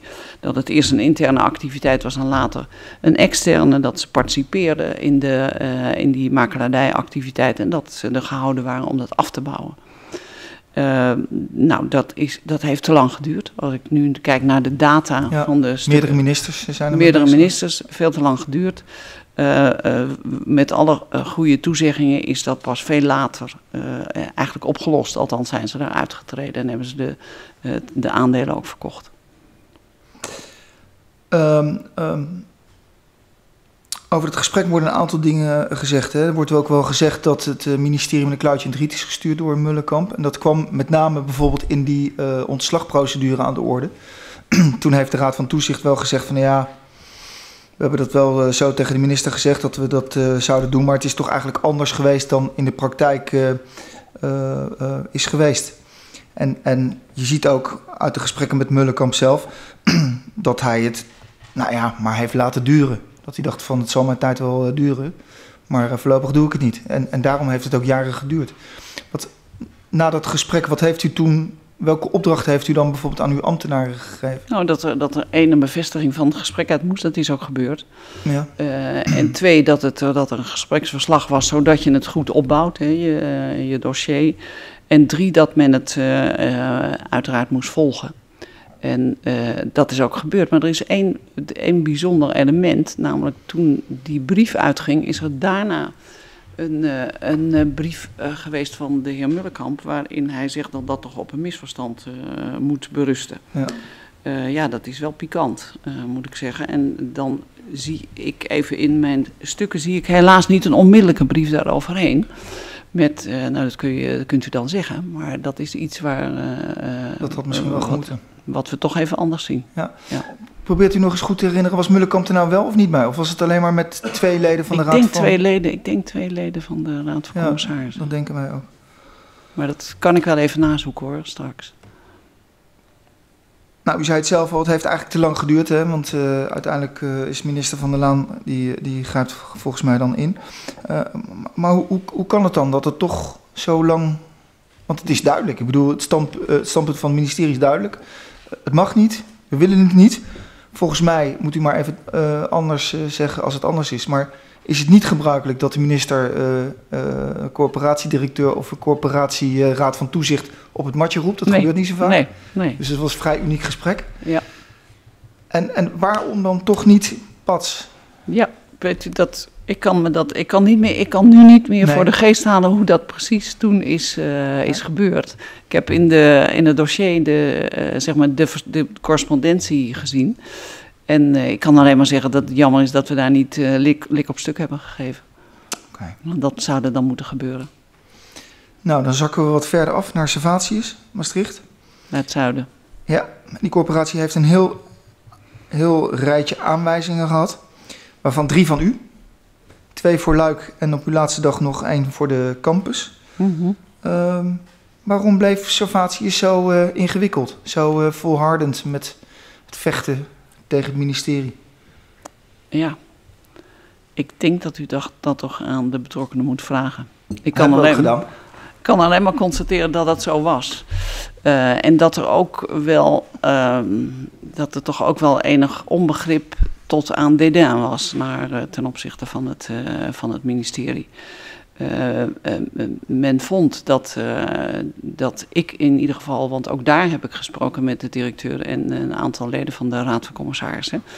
Um, wel, ook om ze te attenderen, één op de situatie Luik. Hè, dat dat maatschappelijk gebonden verbogen ja. werd zeg maar geïnvesteerd in, uh, zeg maar in Luik, buiten, buiten de grens. Dat vond men absoluut van een feit dat ik geen zicht had op de regionale woningmarkt. De regionale woningmarkt ging echt over de grenzen van, van Nederland heen. Ongetwijfeld is dat zo, heb ik ook aangegeven. Maar dan nog, uh, hebben we een aantal afspraken om ja. dat vermogen gewoon binnen de grenzen in te stellen en niet bij het buurlanden. Dat is één. Tweede. Even, mag ik even daarop doorvragen? Ja? Uh, is er tegen u ook nog gezegd, wij vinden eigenlijk dat uh, staatssecretaris Remkes daar verwachtingen heeft gewekt? Door de gemeente en, nou, en, en, door de... niet dat ik weet, niet, niet dat, dat ik weet. weet. Dat, maar dat, dat is een kwestie van nog eens een keer even het geheugen afgraven, maar niet dat ik nu weet. Okay. Maar het tweede is, was de campus natuurlijk. Ja. Uh, waarin uh, die groots was uh, opgezet, de, enorm veel opdrachten tegelijkertijd waren. Kijk, de studentenhuisvesting is duidelijk een opdracht voor de woningcorporatie. Maar het sportcomplex, de, zeg maar de collegezalen en al het andere wat erbij bij was niet. Men had een prachtig ontwerp, prachtig van Calatrava. Nou, u kent de architect waarschijnlijk, die wereldwijd actief is. Daar waren ze uitermate trots op. Vond Ja. ik ook ontzettend prachtig, maar niet onder de verantwoordelijkheid van de woningcorporatie. Nee. Dat heb ik luid eh, en duidelijk heb ik dat eh, aangegeven, maar men vond dat eigenlijk nog dun dat ik dat op deze manier eh, deed. Nee. Nee, want dat is opvallend in deze casus dat, dat ze ja, eigenlijk lak hebben aan het ministerie. Want ondanks dat u zegt het mag niet, eh, eh, gaan ze gewoon door. Mijn collega Mulder heeft daar uitvoerig over gevraagd. En de heer Verzelberg zegt, nee, die aanwijzingen die heb ik ingelijst Ja. en aan de muur gehangen. En ik zag dat als een blijk van aanmoediging. Als een soort prijs voor de beste maatschappelijke ondernemer van Zuid-Limburg. Zeg ik maar even met mijn eigen woorden. Hij zei het iets anders, maar daar kwam het ongeveer wel op neer. Wat, wat vindt u daarvan? Van, Nou ja, dat er zo met die aanwijzing wordt omgegaan? Ik heb, ik heb niet voor niets ge- net gesproken over een dédain naar, de, eh, zeg maar naar het ministerie en naar de, eh, naar het ministerie en naar de minister. Dat, eh, dat vond men. eh, En ehm, laten we ons ook nog wel realiseren dat er voor dat project bijvoorbeeld, daar stond toch eh, de gemeente ook voor, eh, vooraan in de rij om aan te geven wat zij zouden, dat ze dat prachtig vinden. Er stond de universiteit vooraan de- in de rij. De rector magnificus die belt naar mijn DG. eh, de, de wethouder die belt. Om maar vooral het door te laten gaan. Ja. En eh, vervolgens nog helemaal hebben we het nog niet over de financieringen die, er, die erbij horen. En die daar ook genomen zouden moeten worden. Je kan zo'n project natuurlijk doen. Maar dan wel heel nadrukkelijk wat betreft de, de taak van de woningcorporatie en de financiering. En wat betreft de taak van de gemeente Ja. en van de universiteit. Dat moet dan echt. Dan eh, heb je een gemengd project, zoals het heet. En dat, dat kan echt, maar niet op deze manier. En is het ministerie dan echt wel in staat om dat te stoppen, behalve door aanwijzingen te geven? Nou ja, weet u, dat is natuurlijk, dat vind ik ook wel de vraag die, die eh, zeker als je daar later nog eens over nadenkt, eh, terugkomt. Wat heb je nog meer in handen dan eh, zeg maar het geven van een aanwijzing en het volgen van een aanwijzing? Bij de, als er gevaar is in de bouw, dan kan de inspectie voor het bouwwezen, kan de arbeidsinspectie, zeg ik, ik weet niet meer of dat nu ook bij hen berust, maar even, dan kan de inspectie een bouwwerk stilleggen. De vraag is of je in je inspectiemodel niet een ultiem middel zou moeten hebben die dat ook eh, kan, eh, in, dat instrument in handen kan geven van de minister. Hè, waarin je zegt, we stoppen ermee. Punt. Ja. Klaar. Eh, als men niet voldoet aan hè, de, de, de aanwijzingen die al is gegeven. Ik wil toch even appels met peren vergelijken. Dat kan natuurlijk dat? niet. Maar het gaat even om de rol van het ministerie. Als je nou kijkt naar Rochdale, waarin het ministerie heel lang weet eh, dat daar die eh, illegale makelaardij is. Of tenminste, uh, makelaardij die niet is toegestaan. Waarvan u dat ook duidelijk heeft aangekondigd. En dan een aantal keren wordt gedreigd met het geven van een aanwijzing. Nou, u heeft gezegd van ja, we leggen het vast en we sturen een brief. En dus daar gaat wel wat tijd overheen. En je bijvoorbeeld kijkt naar Servatius, die het ondeugendste jongetje van de klas is. Gewoon doet wat de minister niet wil. En daar wel aanwijzing op aanwijzing krijgt. Dus Ja. vindt u dat inconsistent of zegt u nee, daar heb ik wel een verhaal bij? Nou ja, we, we hebben net geconstateerd bij, de, bij eh, Rochdale dat dat ook eerder had moeten gebeuren. Dus dat is een, dat is, daar zit gewoon een gat. Hè? Dus Ja. er zit een half jaar tijd tussen de, de brief over het misverstand van, meer, van meneer Mullenkamp en de, de brief die wij dan vervolgens eh, sturen. Eh, en als ik kijk naar Servatius, is daar, zitten we daar veel, veel meer bovenop. Dat is Ja, waar. Maar waarom dan? Ja, dat zal ongetwijfeld in de, de inzet of het zicht eh, wat, wat men heeft, dat kan ik verder ook niet goed eh Want ik vind het eigenlijk allebei ondeugende jongetjes. Ja, dat zou, mag, mag u zeggen. Ja. Oké, nou. Edis is de branchevereniging. Ja. En eh, we hadden natuurlijk grote verwachtingen van de zelfregulering in de, in de corporatiesector. Had u nou van Edis nog wat verwacht in die, in die casus van Servatius? Dat ze het, het, het voor uw beleid opnamen of dat ze ehm Servatius zouden aanspreken op hun woongedrag? Ik weet niet of men dat achter de schermen wel heeft gedaan. Dat weet ik niet hoor. Maar openbaar in ieder niet, geval niet. Niet dat ze Openbaar tegen niet. u hebben, eh, Nee, dat van nee, Leeuwen of openbaar Kalon niet. u heeft, Nee, van Leeuwen nee. was het nog, ja. Nee. Oké. Goed, gaan we naar Deventer, want daar heeft u wel iets mee hè, met de rentree. Nee, met de Rivierenwijk. Met de Rivierenwijk. niet met de rentree, maar met de Rivierenwijk. Nou, de wijkaanpak in de Rivierenwijk, dat was een van uw dingen, maar dat was ook een van de eh, eh, projecten van uh, rentree in Deventer. Ja. En wat daar opvalt, is dat uh, de woningcorporatie de regie overneemt van de gemeente. Nou, dat is Ja. bij geen van de andere casussen gebeurd. Ja. En onze vraag is, wat was destijds uw motivatie om, om die regievoering te laten overnemen, om dat te steunen? Want het is wel aan u gepresenteerd, die, wat daar allemaal gebeurde. Maar En- Nou ja, u vond het wel goed. U, u was het ermee eens. even, ik zoek even naar het moment waarop dat is gebeurd. Want naar mijn idee is dat veel later gebeurd. Maar afgezien Nee, daarvan, hè, vertelt u afgezien maar, daarvan. u maar uw beleving dan. Ja, nou, mijn beleving is dat, dat eh, ik vind dat je dat niet moet doen. De woningcorporatie kan nog zulke mooie aspiraties hebben, maar de regie overnemen kan niet. Het is een wijk.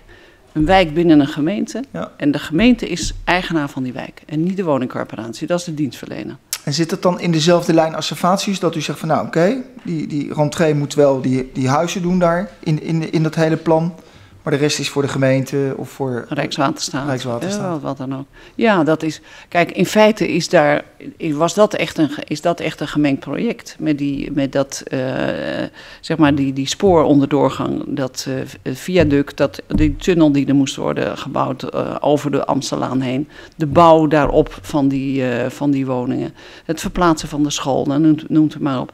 Veel te groot ten opzichte van datgene wat een woningcorporatie kan dragen. Dat is ook nog wel een signaal wat we moeten meenemen naar de toekomst. Dus dat, dat is iets wat eh, in feite niet kan. Je moet, een corporatie heeft niet de, de rol om een heel groot project te dragen. Zij leveren toe. Met anderen.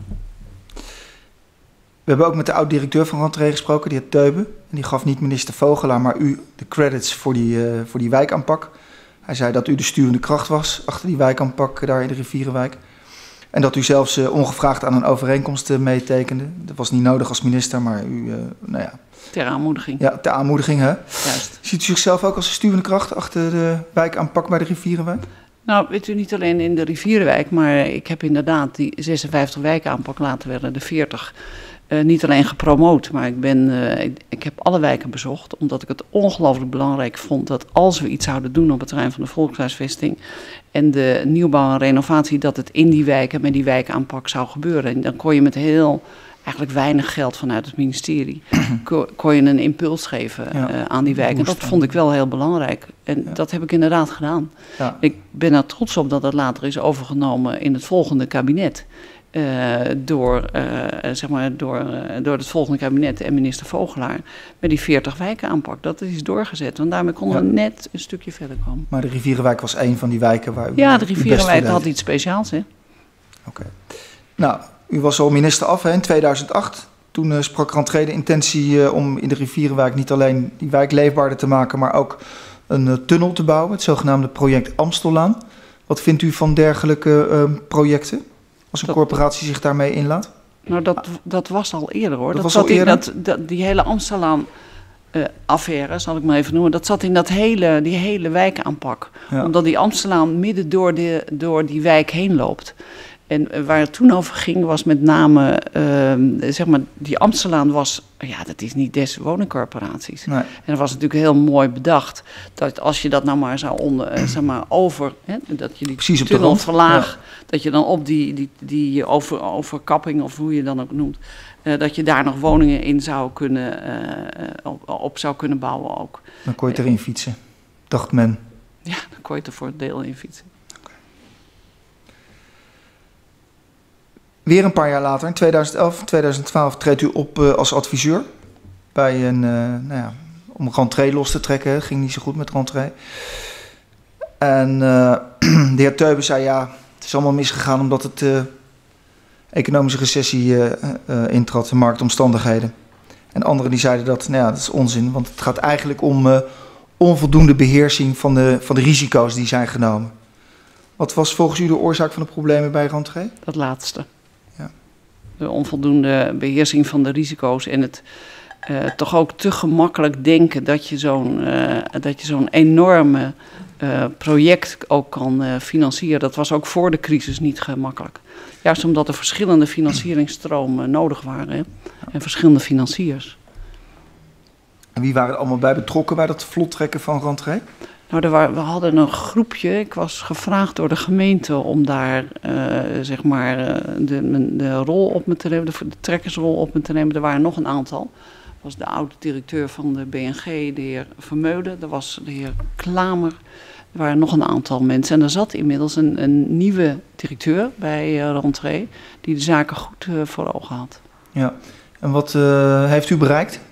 Dat vlottrek? Oh, we hebben het eigenlijk bereikt dat we, dat we dat hele project hebben, wat je tegenwoordig gedownside noemt. noemt hè? Dus dat je het eigenlijk afpelt en zegt, wat kan hier nou wel en wat kan hier nou gewoon niet door de woningcorporatie. Toen hebben we ons helemaal geconcentreerd op de woningen, op de, uh, op het veel beter betrekken van. Er was een hele actieve uh, woners- en huurdersorganisatie die goede ideeën had. Daar heb ik ook een paar keer mee gesproken daar op het stadhuis.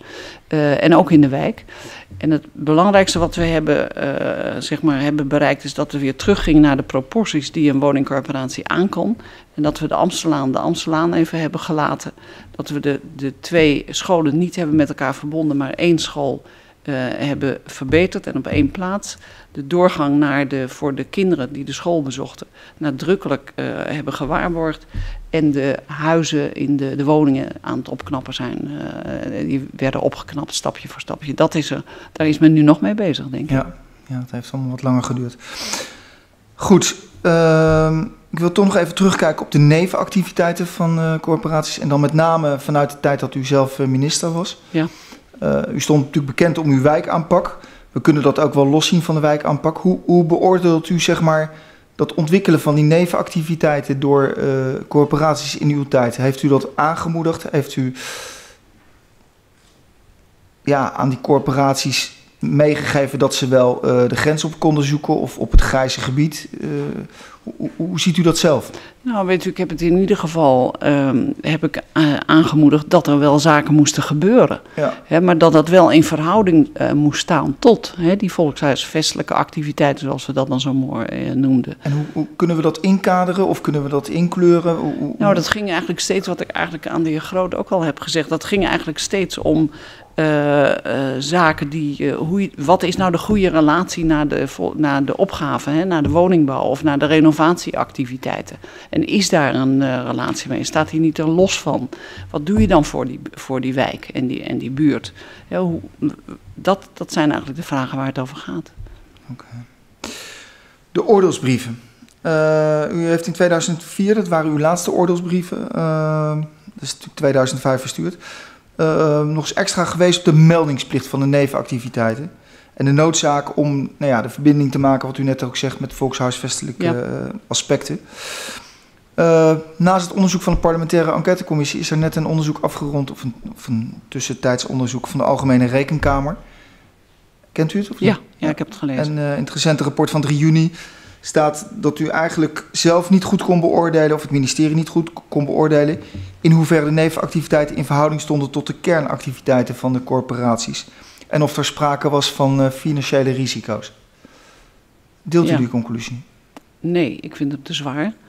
Uh, ik denk dat we dat wel hebben kunnen doen, maar dat we, dat we wellicht nog een, een, een paar slagen dieper hadden moeten gaan. En Sommige, in sommige gevallen dieper hadden moeten spitten, om het maar zo te zeggen, hoe die met de consequenties van de financiën zouden moeten gaan. Ja, ook al omdat we, nou ja, die vier uh, casussen die we net besproken hebben, dat speelt natuurlijk ook in uw tijd. En dat, dat zijn natuurlijk toch wel financiële disasters geworden. Ja, helaas. Ja, deze wel. We zijn, hebben ook andere goede voorbeelden, maar dit zijn de, de disasters. Ja. ja helaas. Oké. Okay. Dank u zeer, meneer Oskam. Meneer Groot nog aanvullend? Nee. Dan uh, ga ik de vergadering even schorsen, mevrouw Dekker. En ik stel voor tien minuten doen we dat. Ja? Dank u wel.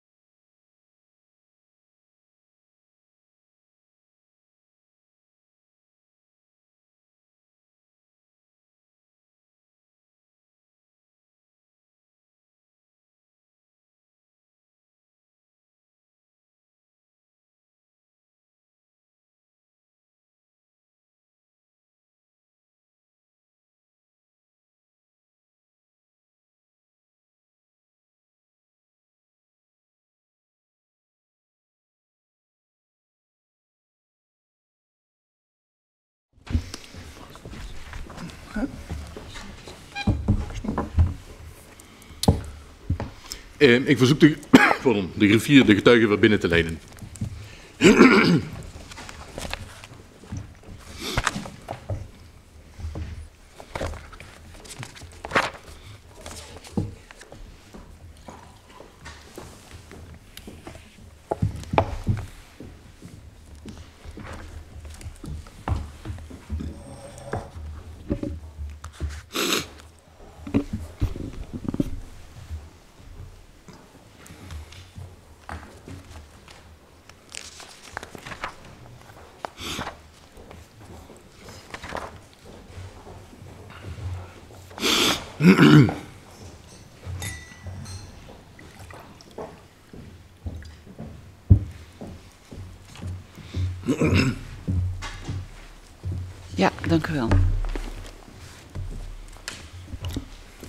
Goed?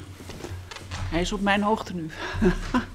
Dat is dan weer mooi geregeld, mevrouw de Bode. Dank u wel. Ik heropen de vergadering, mevrouw Dekker, en we gaan meteen door. Het woord is aan collega Groot.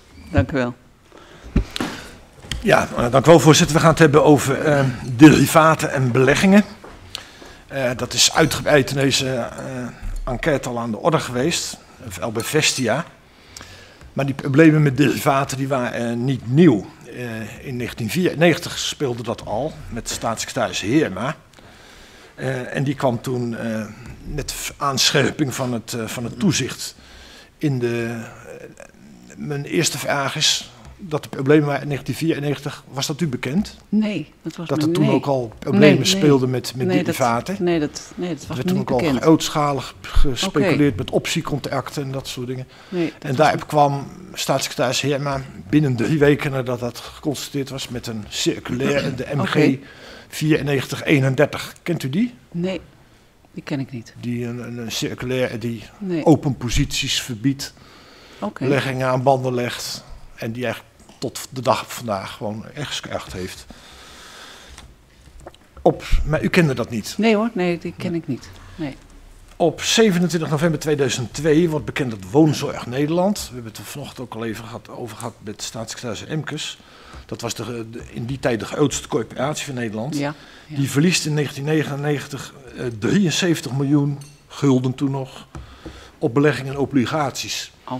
Dan moet je echt je best doen, want in die tijd gingen de beurskoersen ontzettend omhoog. Ja. Dus, dus, dus hier is echt sprake geweest van hele speculatieve beleggingen.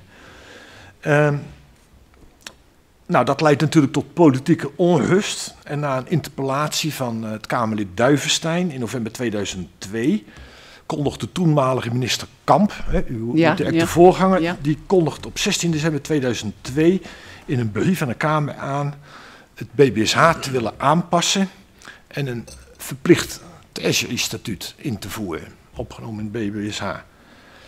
Bent u door minister Kamp gewezen op dit dossier, Nee. dit overdrachtsdossier? Nee. Nee. Dat, en als hij dat wel gedaan had, dan zou u, u zich dat nog kunnen herinneren, Ja, wellicht. ja, vast. Ja, sorry. Ja, Hm. ik weet het echt niet. Nee. Nou, u stuurt wel op 26 april 2004 een, eh, een brief naar de Kamer. Waarin u zegt het BBSH te willen wijzigen. Waarbij riskante beleggingsvormen worden uitgesloten. En waarin een TSI-statuut verplicht wordt gesteld. Dus in, in de geest van wat, eh, Mhm, wat de Kamp. wat Kamp ook al Ja, van plan ja. was. Ja, mijn eerste vraag is: ja, waarom vond u het nodig om dat in het BBSH vast te leggen? Want het was al verboden krachtens die circulaire MG 9431. Ja, wel, ik denk, eh, maar ik moet echt zeggen, ik denk, ik denk omdat het zo indringend was, die, eh, die eh, brief en die circulaire, dat, er, dat dat niet anders kon. Maar nogmaals, dat is nu mijn gedachte, nu ik het van u hoor. Ja, indringend zegt u, maar minister Kamp is al mee bezig in 2004. En nu komt er in 26 april nee, 2004 nog een keer mee. Ja, Kamp komt in 2002 met, met het probleem. Kondigt aan beleidswijziging. En u komt nog eens in 2004 met een brief naar de Kamer. Ja. En u dit oppakt. Ja, ja. Waarom zo laat pas? Ja, weet u, het is jammer dat u me dat voor de tweede keer vraagt waarom zo laat. Maar het gaat toch over het feit dat ik een aantal zaken eh, eerst gewoon tot me wilde nemen en het goed wilde overzien. En het is niet zo dat je als uh, aantredend minister uh, een, op je tafel of op je vergadertafel alle stukken neergelegd krijgt waarvan je zegt, nou daar even actie ondernemen, daar even. Zo werkt het natuurlijk niet. En ik vind wel dat je als, als uh, minister, als bewindspersoon, goed op basis van je eigen verantwoordelijkheid, dus ook je goed moet verdiepen in datgene wat er speelt. En er speelde veel. Nou, dat heeft u dan in 2004 uiteindelijk dan gedaan, twee jaar later. maar heeft u nou dat uiteindelijk in 2006 toen u af had gerealiseerd? Nee, ik heb het wel, als ik me goed herinner, maar nu moet ik even, heb ik het wel meegenomen in een van die brieven of een keer apart. Maar dat, ik weet het niet exact op dit moment, dus kan ik beter niet uh, naar u iets over zeggen. Nou ja, wij weten uit ons onderzoek blijkt, uit 2006 is dat verplichte TSE-instituut ja. nog steeds niet gerealiseerd. Terwijl het al in uw dossier over de 8 in 2002 zit. Ja. Ja, weet u, ik heb geen af. U vraagt waarom is het niet gerealiseerd? Dat betekent dat we zouden moeten hebben, zouden moeten volgen of de woningcorporaties daadwerkelijk hadden. Hè, of zouden hebben. Mhm. Die, uh, Ja, dat een zou heel dat, groot aantal had het niet. Nee, dan had daar dus een, eh, een verdere, eh, de, zeker naar aanleiding van de oordeelsbrieven, hadden we daar dan actie op moeten ondernemen. Ja. Dat hadden. Hebben. Ik denk dat we dat In, niet in hebben 2002 ligt het al voor en er is ook een grote Kamermeerderheid voor. Ja. Het is een kwestie van het even opnemen in het BBSH. In 2006 is het nog steeds. Ja, niet gerealiseerd. u constateert het. Ik, ik heb daar geen ander antwoord dan wat ik u zeg. Ik, eh, heb, ik heb, niet, eh, de, eh, zeg maar, heb niet het inzicht dat wij vanuit het ministerie vervolgens aan de verschillende eh, woningcorporaties die daar niet aan voldeden. Dat, ik weet niet of dat niet in een van de antwoorden of reacties op de, of in de oordeelsbrieven is meegenomen. Ja, ik zit er dan toch even tegenover elkaar. Want eh, we hebben in het verleden staatssecretaris Heer maar gehad. Die constateert problemen met beleggingen. Die heeft drie weken nodig om een circulair Geweldig. uit te vaardigen. Ja. Waarin hij dat aan banden legt. Ja. Nu komt er iets, om, eh, iets, Ja. iets te veranderen in het BBSH. Na vier jaar is nog steeds niks gebeurd. U constateert het. Ik kan daar niet anders op antwoorden. Helaas. Had u als minister zicht op de eh, activiteit van het Waarborgfonds Sociale Woningbouw? Nou, eh, zicht. eh, in ieder geval was er overleg. Ik ben daar op bezoek geweest om de werkwijze nog eens te laten, te laten voorleggen en te laten vertellen. Ehm, en ik vond dat ze altijd in een hele goede. ze stonden natuurlijk op. eh, Ze deden natuurlijk belangrijk werk. Het toetsen of een borging wel of niet, hè, geborgd geld wel of niet toegekend wordt, is niet niks. Eh, Zeker en, niet. Hè, dat is natuurlijk niet niks. Het is echt een instrument in de financiering van de, van de woningcorporaties. En ik ben blij dat we het, dat we het hebben, een dergelijk eh, instituut. Dus daar, maar zegt u nou alle ins en outs? Nee, niet precies. Je kende de functie en, en wist natuurlijk wat het, eh, wat het teweeg kon brengen. Was u op de hoogte van de, de spanningen die er bestonden tussen het Centraal Fonds en de, het Waarborgfonds?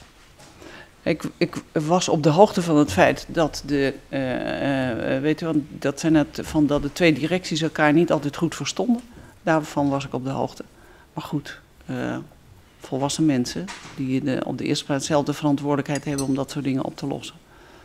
Maar u was wel op de hoogte dat dat niet ja, helemaal dat, dat lekker liep. niet altijd boterde, dat, dat wist je. Of dat de een toch wat liever naar buiten wilde en de ander niet. Ik bedoel, weet u, zo, zo gaan die dingen. Eh, eh, altijd jammer, want eh, kijk, uiteindelijk, eh, eh, uiteindelijk moet men eh, natuurlijk wel eh, op de eerste plaats hun werk doen. Daar heb ik nooit van gezien dat men dat niet deed. Dan toch nog even terug op dat TS-instituut en, dat, eh, en dat verbod op riskante beleggingen. Ja, Eh, ja, het is niet gekomen. Als ik u dan voorleg ja, dat een belangrijke Ede is geweest, dat Edis dat gewoon niet wilde. dat kan ik. Dat, Edis was tegen dit soort verplichtingen. Ja. En, en de heer Van Leeuw heeft ook gezegd, ja, dat is, het is dom om beleggingen van, eh, van, van woningcorporaties aan banden te leggen. Nee. Weet u, het, het kan tien keer zo zijn dat de voorzitter van eh, de eh, koepelorganisatie iets vindt. Maar dat betekent niet als het gaat over riskante zaken dat, je, dat dat dan de reden is waarom dat niet zou, kunnen, zou moeten gebeuren. Maar wat is dan de andere verklaring dat het niet gebeurd is? Ja, Terwijl er een Kamermeerderheid ligt, het voorgenomen Nee, is. ik, ik denk niet eens. Ik weet wel dat het in de Kamer, maar nu doe ik het even hè, eh, vanuit de, de, de herinnering. Ik weet wel dat het in de Kamer eh, een keer aan de orde is geweest, maar ik denk niet heel breed. Nogmaals, ik weet het niet eh, precies. Dus ik, en ik kan me niet voorstellen, wat u, eh, wat u zegt, dat. want dat is eigenlijk de suggestie die, u- die u doet. Dat, dat, de heer van, dat het feit dat EDES daartegen zou zijn, dat het niet zou gebeuren als het gaat om risico's. Dan kan een belangenorganisatie, denk ik, moet zijn verantwoordelijkheid nemen. En juist aanvaarden dat. ja, het, dat eh, is dan ook wat Ede zegt. We nemen zelf wel onze verantwoordelijkheid. Minister, eh, u hoeft niets te regelen. Ja, en blijkbaar dan- vond u dat dan ook. Anders had u dat wel, Nou, anders had u dat wel gedaan, toch? dat neem ik aan. Daar mag u van uitgaan. Nee, als kan nog aanvullen op dit punt? Eén puntje nog, over de derivaten. Daarvan zei u, ja, vroeger eh, wist ik er eigenlijk niet zoveel van, de tijd van Herma. U heeft later wel eh, eh, die brief geschreven, dan in 2004. Maar voor die tijd was daar ook nog niet zoveel mee gedaan. U was het nog aan het bestuderen. Ehm, zegt dat iets over de aandacht van het ministerie over de financiële wandel in, in, van de corporaties in uw regeerperiode? Nee, ik denk het niet. Eh, nee, ik vind ook, vind ook van niet. Weet u, de, ehm, kijk, het licht is natuurlijk heel erg op de, eh, op de derivaten gekomen eh, eh, in de casus eh, Vestia. En naast een aantal andere woningcorporaties die ook handelden, of althans dachten een hele goede beleggingsvorm te vinden eh, in eh, de derivaten. Dus ik, ik vind niet dat dat nu zo gezegd kan worden dat dat maar eh, gedaan werd. Want dat is eigenlijk wat u zegt. Of versta ik Nou, u dan nee, verkeerd? eh, Nee, kijk, u zei, het zegt me allemaal niet zoveel. Hè. Dat was de vraag over de periode Heerma. Wist, wist u dat er toen al problemen met derivaten waren, was de vraag van die Groot. Zei u, nou, dat, dat zegt me allemaal niet zoveel.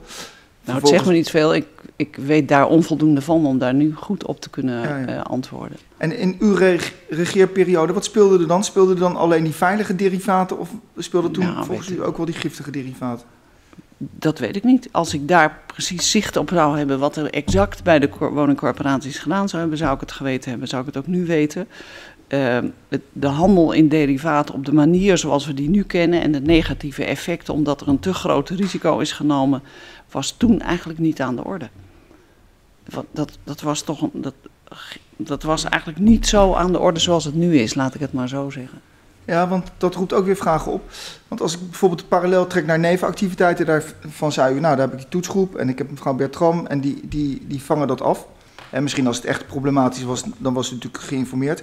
Maar dat kan natuurlijk ook zo met die derivaten zijn, dat u zegt van ja, dat hoef ik niet te weten, dat, dat doen andere Nee, mensen. nee, nee, nee, nee, nee, nee. Dat als, is dat. als, het, als het een probleem was geweest, dan hadden ze het u verteld. Ja, ongetwijfeld. Ongetwijfeld. Dank, eh, collega Oskam. Mevrouw Dekker, ik eh, neem u ook nog even mee, namelijk naar de commotie en de discussies over de salarissen in de sector.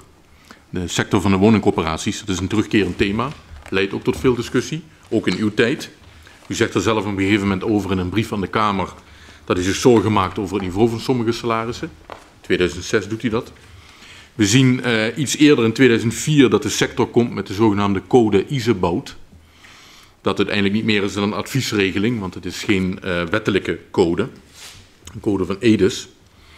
En eh, ons, uit ons onderzoek blijkt dat eh, in augustus 2004 krijgt u zelf het advies van uw ambtenaren op het departement bij het oppakken van het wetsvoorstel voor de openbaarheid publieke topinkomens, de latere WOPT, Ja, om bij het tot stand komen van die wet een link te leggen naar die Isebout-code. Dat wordt door uw ambtenaren geadviseerd. Ja.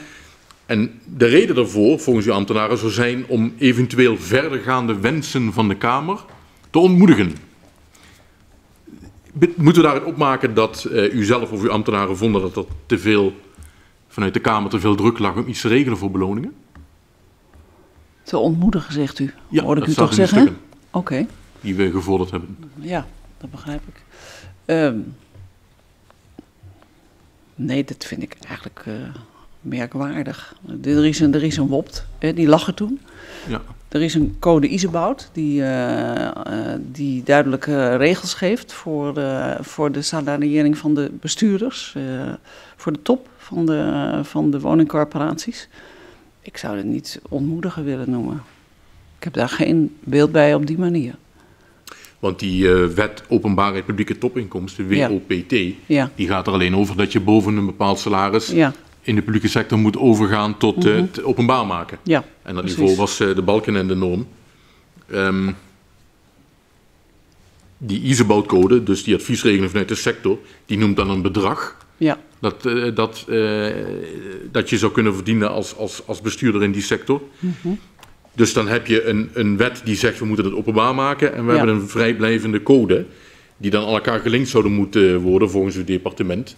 Ja. ja, dan krijg je een systeem dat niet echt hard is ja. voor het eh, temperen van de beloningen in de sector. Mhm, mhm. Wat is uw visie daarop? Nee, ik, ik- die code, eh, kijk, weet u, die code Isebout, één, die, die openbaarheid was toen wel een belangrijk onderwerp hè, van discussie in die periode. Niet alleen overigens voor de woningcorporaties hoor, maar over, over alle, allerlei organisaties ook verbonden aan, het, eh, aan de overheid. En de, de, en Isebout-code, of reglement, hè, of, spelregels, hoe je het dan ook wilt noemen, gaf natuurlijk wel een richtlijn aan die eh, corporatie. Iets wat men niet gewend was tot op heden. Dat, dat was eigenlijk een, een, een, eh, vanuit de verantwoordelijkheid van de Raden van Toezicht en Raden van Commissarissen. En met hun inschattingen is er een beloningsbeleid gevoerd. En dat werd eigenlijk met die, met die eh, commissie Isebout natuurlijk wel aan de kaak gesteld. In die zin dat het genormeerd werd. Behalve openbaar, hè, WOPT, maar dat ook genormeerd werd. En dat er aangegeven wat, op welke manier dat dan zou moeten gebeuren. Maar er waren natuurlijk allerlei lieden die hielden zich niet aan die norm. Ja, die, daar een enkel voorbeeld kan ik u ook geven. Dat, is, dat weet u bij eh, Vestia onder andere. Ja, daar wil ik even met u naartoe. Want u, Ja. als minister sprak u inderdaad eh, met verschillende corporaties over die beloningskwestie. Ja. Eh, onder andere met Red Rochdale. Ook nog met een stichting Eelder Woningbouw. Die zijn Ja. bij u geweest, hebben wij begrepen. Maar zeker ook Vestia. Dan komen we in juli 2005. De commissarissen van Vestia zijn eh, door u uitgenodigd, als ik dat zo noemen mag. Onboden. En Ja. ontboden, duidelijk. Ja. En u vraagt dan om een reactie van de Raad van Commissarissen. Die hebben gesproken met de heer Staal over het temperen van zijn salaris, dat toen al het hoogste was van de hele sector. Ons, uit het onderzoek blijkt dat die Raad van Commissarissen in dat overleg met u aangeeft dat ze niets kunnen en willen doen ten aanzien van de heer Staal. Maar dat ze bij een eventuele opvolger, een nieuwe directeur-bestuurder, ze wel naar Isebout zullen kijken als uitgangspunt.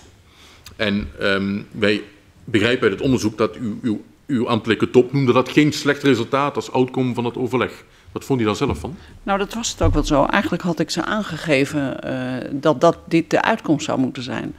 Eh, ik vond dat dat inderdaad veel te hoog was. Zij hadden de, en ik wilde per se dat ze, dat ze een toelichting zelf kwamen geven op die hoogte van dat eh, salaris. Dat heeft men uiteindelijk gedaan, is op mijn uitnodiging is men ingegaan. En ik heb daarbij aangegeven, kijk, ik kan als minister kun je niet intreden in een privaatrechtelijke arbeidsovereenkomst. Daar heb je geen formele bevoegdheden voor. Maar je kunt wel aandringen op het naleven van de spelregels. Dus dat is ook wat ik ze heb aangegeven. Ik, wat ik van jullie zwart op wit wil, is dat je bij een eerstvolgende, ik wil weten waarom de, de, salaris van ehm de heer Staal zo is opgebouwd, zoals het is opgebouwd. Nou, toen kwam men over de overstap hè, naar de, eh, eh, zeg maar de overstap van de, van de Haagse, woning, Haagse woningbedrijf naar Vestia, naar, naar de nieuwe juridische entiteit.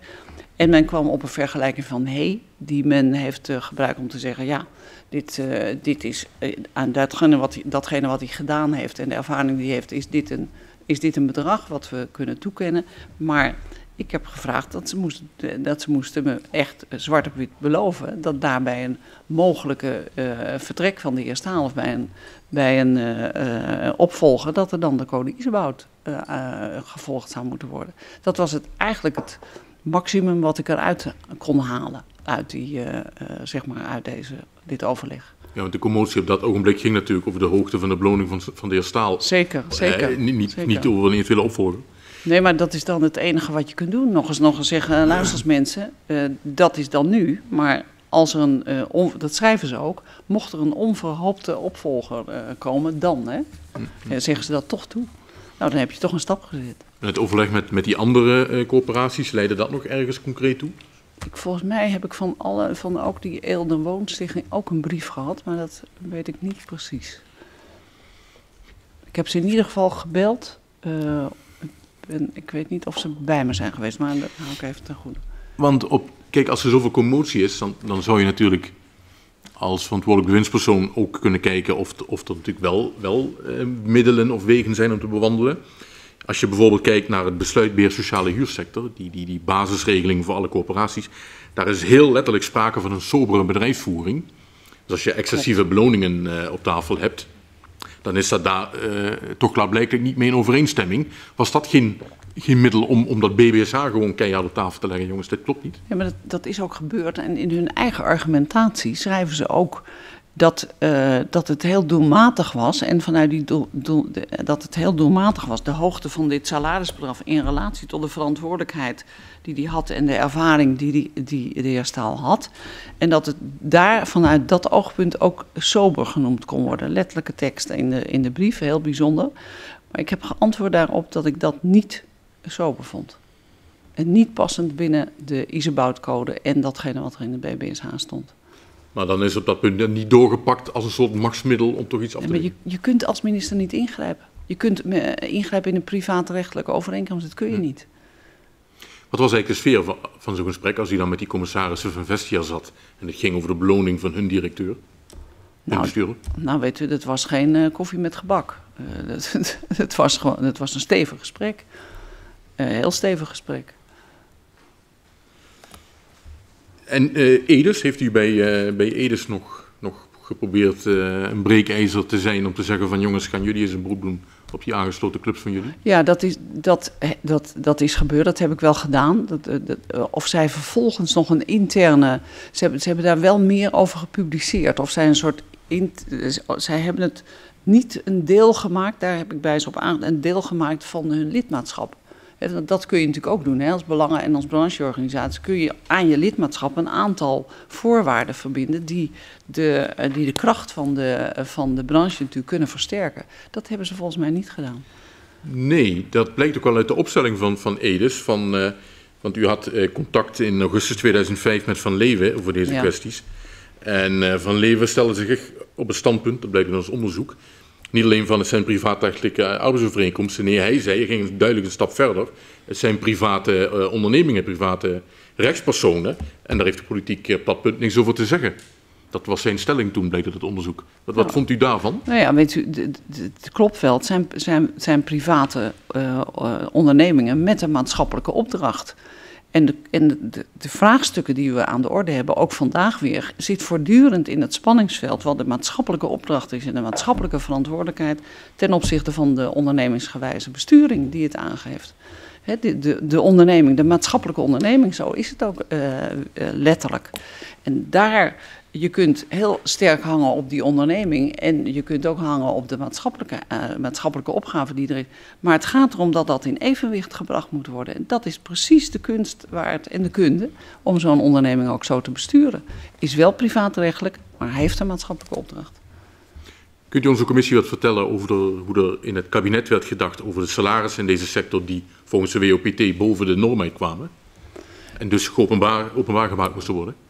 Ja, weet u, het, het was uh, met name de, de, zeg maar de algemene uh, zeg maar, discussie, uh, weet ik niet eens zo uitgebreid, maar wel in ieder geval over het feit dat die openbaarheid natuurlijk van, van belang was als eerste. Het begon natuurlijk bij de commissie Dijkstal. Met die uh, als aanloop tot die uh, WOPT. En vervolgens uh, met het idee dat zodra je het openbaar maakte, één meer transparantie zou komen. En twee, door de openbaarheid ook een nivellerende werking zou hebben op de salarissen. Dat laatste is overigens nooit bewezen dat het gebeurt. Het is meer een, in zijn algemeenheid geeft het veel meer een signalerende functie dergelijke, dat het openbaar maken. -hmm. En als we nou terugkijken naar de, de houding van de sector zelf. Uh, wilde er helemaal niet aan. Uh, ja, we hadden Isebootcode, maar die was vrijblijvend, kon niet afgedwongen worden. Voor de rest waren het private clubs. Je krijgt die commissarissen van Vestia. Dat was uh, geen koffie met gebakgesprek. Toch even allemaal ho, ho, ho, ho. Wat zegt dat nou over het hele, de hele houding in die sector ten aanzien van dit zware discussiepunt wat zoveel commotie opleverde, ook in politiek en samenleving? Nou ja, weet u, dat zegt in ieder geval ik, ik wil niet de sector eh, leden eh, allemaal over één kam spe- s- eh, eh, eh, eh, scheren. Dat doen we ook. Maar, eh, eh, maar als je kijkt naar de, de casussituatie die we voor ons hebben, dan is dat natuurlijk toch een, eh, zeg maar een opvatting waar, waarvan blijk gegeven wordt dat de maatschappelijke ankers en het gehoor van wat speelt er maatschappelijk en waar moet je ook op reageren. Nou, ik zou willen zeggen dat het niet altijd hoog ontwikkeld is geweest. Ik eh, doe het nog één keer. 2014 komt uiteindelijk die wetnormering topinkomens. Is dat niet Ja. erg laat? Ja, weet u, de- de- 2014, ja, we hebben een. eh, Ik denk dat je een aantal. eh, kunt u. Nee, ik vind het niet erg laat. Want het speelt, eh, laat ik maar gewoon zo zeggen zoals ik het ook vind. Ik vind dat het ook een soort afronding is van een maatschappelijke discussie. Die er, eh, die er voortdurend is over de hoogte van, de, eh, van salarissen en topinkomens. En over de hoogte van. de, hoogte van en over de, het, het, de organisatie-eenheden die topmensen of, aansturen daar heeft het eigenlijk het is een weerslag van. Het is een soort einde van het, eh, of afronding. Het is nooit af hoor, naar mijn idee. Want dit zal altijd onderwerp van gesprek blijven. Maar het is een soort afronding van een hele maatschappelijke discussie die dan aan de orde, die gedurende de jaren aan de orde is geweest. Goed, ik eh, keer nog even terug naar collega Groot. Ja? Ja, dank u wel. Eh, we gaan naar de, eh, naar de prestatiesturing en de afspraken die, met, eh, die dus tussen woningcorporaties en gemeenten gemaakt zou moeten worden. Dat was een erg, je hebt al meerdere malen aangekaart dat dat een belangrijk onderdeel van uw, van uw beleid was. Ja, En daar zouden we wat, wat verder over door willen praten. Ehm, er is een commissie De Boer geweest, door u ingesteld, die, die oordeelt dat er onvoldoende waarborgen zijn dat de corporaties hun vermogen optimaal inzetten. En een van de aanbevelingen van die commissie is dat er verplichte prestatiecontracten moeten komen tussen eh, gemeenten en eh, corporaties. En er zou ook een, eh, een, een contracterings- en activeringsinstituut moeten komen dat daarop gaat toezien. En u wilde zover eh, niet. niet gaan. Waarom niet? Eh, omdat ik vond dat dat, eh, dat een eh, stap te ver was om dat meteen in een instituut te gieten. Ehm, eh, en dat ik vond dat, er eerst, dat we eerst moeten zoeken naar een oplossing om die prestatieafspraken en die overeenkomsten echt tot, tot zijn recht te laten komen, tot wording te, te laten komen. Tot uitgevoerd moeten worden. Dus kan- vrijwillig binnen de sector zelf. Nou, voorlopig wel. Dus dat de sector zijn eigen verantwoordelijkheid zou nemen, dat gemeenten hun eigen verantwoordelijkheid zou nemen en gewoon Ja. zouden Ja. uit zichzelf zouden Ja. komen tot die, eh, tot die prestatieafspraken. Ondersteund overigens door med- eh, mediation, zoals ik het wel heb genoemd hè, in de, de brief van twee, eh, december 2005. Als men er niet uit zou komen. Nu was natuurlijk het probleem dat de gemeente opwierpen, de Vereniging Nederlandse Gemeenten, ja, dat ze veel te weinig instrumenten hadden om de woningcorporaties tot, eh, tot actie aan te zetten. Ja, het valt dan op dat u niet naar die bezwaren luistert, wel naar de bezwaren van Van Edes tegen dat soort verplichte Nou, prestatiecontracten. Kijk, van de kant van de gemeente werd verwacht dat er een eh, woonvisie zou worden ontwikkeld.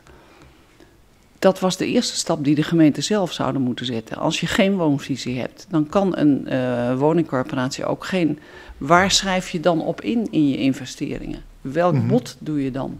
Ik, zou, schrijf het ook letterlijk in de brief, hè, dat men een bod eh, moet doen. Dan moet je als gemeente wel dat eerst op orde hebben.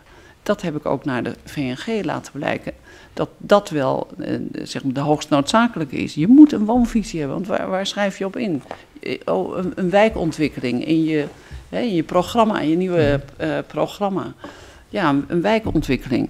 Ja, maar wat dan? En hoe dan? En hoe, wat is dan de visie van de, van de gemeente? En ik vind dat je van een gemeente, van een gemeentebestuur en ook van de raad mag verwachten dat daar dan een visie op is of wordt ontwikkeld. Mhm. En daarbinnen past dan een woonvisie. Ja, maar je kunt je afvragen wat oorzaak en gevolg is. Hè? Want zodra gemeenten geen inzicht hebben in wat, eh, wat woningcorporaties kunnen betekenen. Ja, dan heeft het ook weinig zin om een woonvisie, eh, om veel moeite te gaan steken in een woonvisie. Eh, ja, als je dat toch niet weet. Nou, weet u, dat, ik vind dat als je dat alle twee niet doet, dan gebeurt er dus niks. Dus waar het over gaat is dat enerzijds dat de gemeente een woonvisie ontwikkelt en duidelijk aangeeft wat ze van de woningcorporatie verwachten en wat ze zelf investeren in de publieke ruimte. En de andere punt is, wat ik ook heb beschreven, is dat, de, dat er een investeringsruimte, dat de uh, woningcorporatie natuurlijk een aanbod moet doen wat zij kunnen waarmaken in binnen die woonvisie en wat niet binnen een termijn van, uh, van vier jaar. En vervolgens ook wat er dan, welke investeringsruimte je hebt. Hoe bepaal je nou die investeringsruimte? Ik heb het straks ook al even gezegd. Dat is ook wat ik heb aangegeven. Dat moet je ook ontwikkelen. We zijn er nu nog mee bezig. Hè, om dat uh, te bepalen. En dat is zo van essentieel belang dat zowel de woningcorporatie die investeringsruimte kan aangeven en daar ook opening van zaken over geeft. Want dan betekent het wel dat je je aan de gemeente, ja, daar laat je behoorlijk zien wat je wel en wat je niet kan. Mm -hmm. Dus dat is soms ook anders of beperkter dan de gemeente wellicht zou, zou willen. Nou, daar moeten dan de onderhandelingen ook over ja, gaan. Maar in die tijd hadden de gemeenten dat inzicht niet in, in wat, wat, uh, wat woningcorporaties. Nee, dat in die tijd. En, en dan ook... is het toch zaak om dat dan snel. U zegt die discussie loopt vandaag de dag ook nog, maar dat had toen toch al kunnen. Zeker, zeker. Maar dat was, dat was ook een van de punten die is, helaas is blijven liggen. Uh, dat zou ook opgepakt hebben moeten worden, zoals het dan mooi is. En het moet nu ook nog opgepakt worden. Het is ongelooflijk belangrijk dat, dat uh, zeg maar de vraag aan bijvoorbeeld het WSW gesteld kan worden. Dat er een investeringsruimte, uh, gewoon de formulering van hoe bepaal je dat nou? Dat, want het moet wel identiek zijn uh, voor alle woningcorporaties, hoe je dat doet. Hè, en hoe ja. dat dan ter tafel komt, want anders kun je niet wegen. Uh, en bovendien, een aantal woningcorporaties hebben ook nog, uh, zijn ook actief in, hun, uh, in natuurlijk diverse gemeenten. Dus je moet die formule uh, weten te vinden en daarmee open, openheid van zaken geven. Maar die, was er, die, die formule was er niet. Nee, die was, die, dat klopt, die was er niet en die is ook altijd heel moeilijk gevonden. Ja. En dat hadden we toen eerder moeten inzetten, daar heeft u volstrekt gelijk ja. in. En Want nu, wat blijft er dan nog van stuur op prestaties uh, over? Nou ja, weet u, dat is natuurlijk wel gebeurd, maar, uh, maar anders. Ik denk lang niet zo indringend als wat je eigenlijk nodig hebt voor mm. investeringsbeslissingen. Want het is een investeringsbeslissing van de woningcorporatie, maar het is ook een investeringsbeslissing van de gemeente die dat natuurlijk uh, moet doen en moet weten wat, wat je kunt. En hoeveel geld moeten zij er zelf bij leggen of investeren mm-hmm. hè, voor een bepaalde ontwikkeling in de wijk. Dat zal toch ook geweten moeten worden. Ja. En als het gaat om die prestatieafspraken, kijk, als je die verplicht stelt, dan, ja, ik, ik begrijp dat je niet direct gemeente kunt verplichten tot het uh, instellen van een, tot het maken van een woonvisie. Maar als je prestatieafspraken verplicht maakt, dan moeten gemeente ook wel een woonvisie Eens. ontwikkelen. Eens. Eens. Waarom dan nogmaals het advies van de commissie De Boer niet opgevolgd? Ja, dat is een uh, goede vraag van u, maar daar kan ik alleen maar voor zeggen. Op dat moment vond ik dat het beste op een andere manier gerealiseerd kan worden. En niet via een, uh, een wat toen heette een coördinatie- en activ activeringsinstituut. Ja. Wel de arbitrage uh, en mediation functie daarbij, maar niet dat eerste. En u vertrouwde erop dat die afspraak tussen woningcorporatie en gemeente, dat die dat vanzelf zou groeien in de nou, praktijk. Nou ja. Nou ja, weet u, in iedere gemeente moet geïnvesteerd worden. En in iedere woningbouwcorporatie ook. Mm. Dus je zult je geld toch moeten wegzetten uh, om uh, tot vernieuwing te komen. Ja. Ja. Ja, u sprak daar vertrouwen in uit dat uh, dat vanzelf tot stand zou komen. Hebt u gemonitord hoeveel prestatieafspraken er tot stand kwamen? Dat moet in die oordeelsbrieven hebben gezeten. Maar dat, dat... Nou, bij ons weten is het. Nee? Wij kunnen het niet vinden okay. dat het gemonitord nou, dan, ik weet is. het niet. Ik weet Dit, niet. Er zijn later wel onderzoeken uh, geweest, onder andere het rapport 7 1 Ja. Ja, en dan blijkt dat het aantal prestatieafspraken tot 2005, hè, de, de Ja. tijd van de beleidsbrief, alleen maar daalt. Mm -hmm. Daalt tot, tot, tot 17,9 procent uh, aantal uh, gerealiseerde overeenkomsten ten opzichte van het aantal mogelijke overeenkomsten. Ja, dat is toch een hele lage score. Dat is zo. Dus, dat is echt, dat is zo. Dus, dus waar je op vertrouwde, dat gebeurde niet. Nee, en dan moet je het nog een keer een zetje geven, dat is waar. Mm -hmm. Ja, en, en mediation, het is... Uh, uh, dat kwam ook niet tot stand, hè? Nee, dat is, nee, dat is toen niet, uh, dat is trouwens nog niet tot stand gekomen. Uh, dat is toen inderdaad niet tot stand gekomen. Omdat we in dat ja. convenant hadden we de, met, de, ja. met de sector hadden we dat natuurlijk uh, willen regelen. Hè? Al, dit, ja. al deze elementen daar, daarvan. Maar het is toch ook niet zo verbazingwekkend, want mediation is een bemiddelaar. Ja, die kunnen die kunnen gemeenten en, en woningcorporaties zelf ook nog wel vinden, zo stel ik me voor. Waar behoefte aan was, was natuurlijk iemand die een knoop doorhakt. Ja. En dan heb je het niet over mediation, maar dan heb je het over arbitrage. Ja, dan zou je een binding, een uh, bindende arbitrage in ja. moeten stellen. En zoals u weet heb ik dat uh, geleerd van datgene wat, er, uh, wat mm. ik heb gezien. Ja. vanuit de commissie woningcorporaties gemeenten, die ik ja. vorig jaar op voorgezeten gezeten heb geadviseerd. Doe dat nu, want dat blijkt toch nodig te zijn. Ja, dat, want daar wilde ik naartoe. U hebt gezeten in een commissie, een VNG-commissie vorig jaar. Ja. En daarin wordt wel zo'n knoop-doorhakmechanisme ja. voorgesteld. Eens. Dat en, vonden we, ja, pardon. En, maar zegt u nu met terugwerkende kracht, ik ben toen toch wat te, ja, ik denk te slap uh, geweest? Nou, weet u, dat vind ik een uh, uitspraak die ik graag bij u laat. Maar uh, ik, ik, vind, ik heb het in ieder geval niet ingezet. Dat ja. die, zeg maar deze activiteit. En als je nu kijkt naar zeg maar naar de, de prestaties, dan moet je gewoon zeggen, er, er moet een stok achter de deur komen. En dan moet er ook een bindende uitspraak zijn, mm-hmm. zodat men ook aan de gang gaat. Dan niet nog een keer, uh, nog een keer onderhandelen. Dan moet je ook aan, aan de gang gaan. Of je ontbindt de, uh, zeg maar de overeenkomst, dat kan. Maar je moet aan de slag gaan, want anders wordt er niet geïnvesteerd mm-hmm. in de woningbouw en in de buurten en, uh, en huizen. Maar u moet ook een aantal, dat wil ik u toch nog, toch nog wel ook als antwoord meegeven. Mede naar aanleiding van uw typering. Ik vind ook wel dat u moet kijken naar wat er toen was en hoe de, hoe de opvattingen ook toen waren. En in het licht van het kabinetsbeleid wat ik toen ook mede heb uitgevoerd. Maar daar zet ik tegenover dat je had diagnose van de commissie De Boer. Uh, je, had, ja. je had gemeenten die precies dit probleem toen ook al uh, aankaarten. En ik hoor nu zeggen van, nou ja, dus die geluiden waren er toen wel degelijk ja. ook al. Natuurlijk, zijn er, er zijn altijd van. Dus als, zijn we, altijd als je het hebt over de omstandigheden van toen, dan heeft het al over de ideologische opvattingen van het kabinet destijds. Zeker, maar, ja. maar ik was lid van een kabinet dat die, dat, dat ook uh, dat, dat, uh, dat die lijn uh, hanteerde. Mm -hmm. En dat heb ik ook met overtuiging gedaan. Ja. Maar achteraf zegt u van, met de wetenschap nou, van die VNG-commissie van 2013, we hadden wat eerder op dit punt kunnen doorpakken. Ja, als u het zo zegt, ben ik het met uw formulering eens. Ja. Goed, dan gaan we ook even uh, uh, terugblikken. Nog een paar of onder de vragen, althans wat mij uh, betreft. U hebt een, een, beleidsvisie neergelegd eind 2005. ja, met, met veel voornemens. Mm -hmm. En u had een aantal andere ambities nog.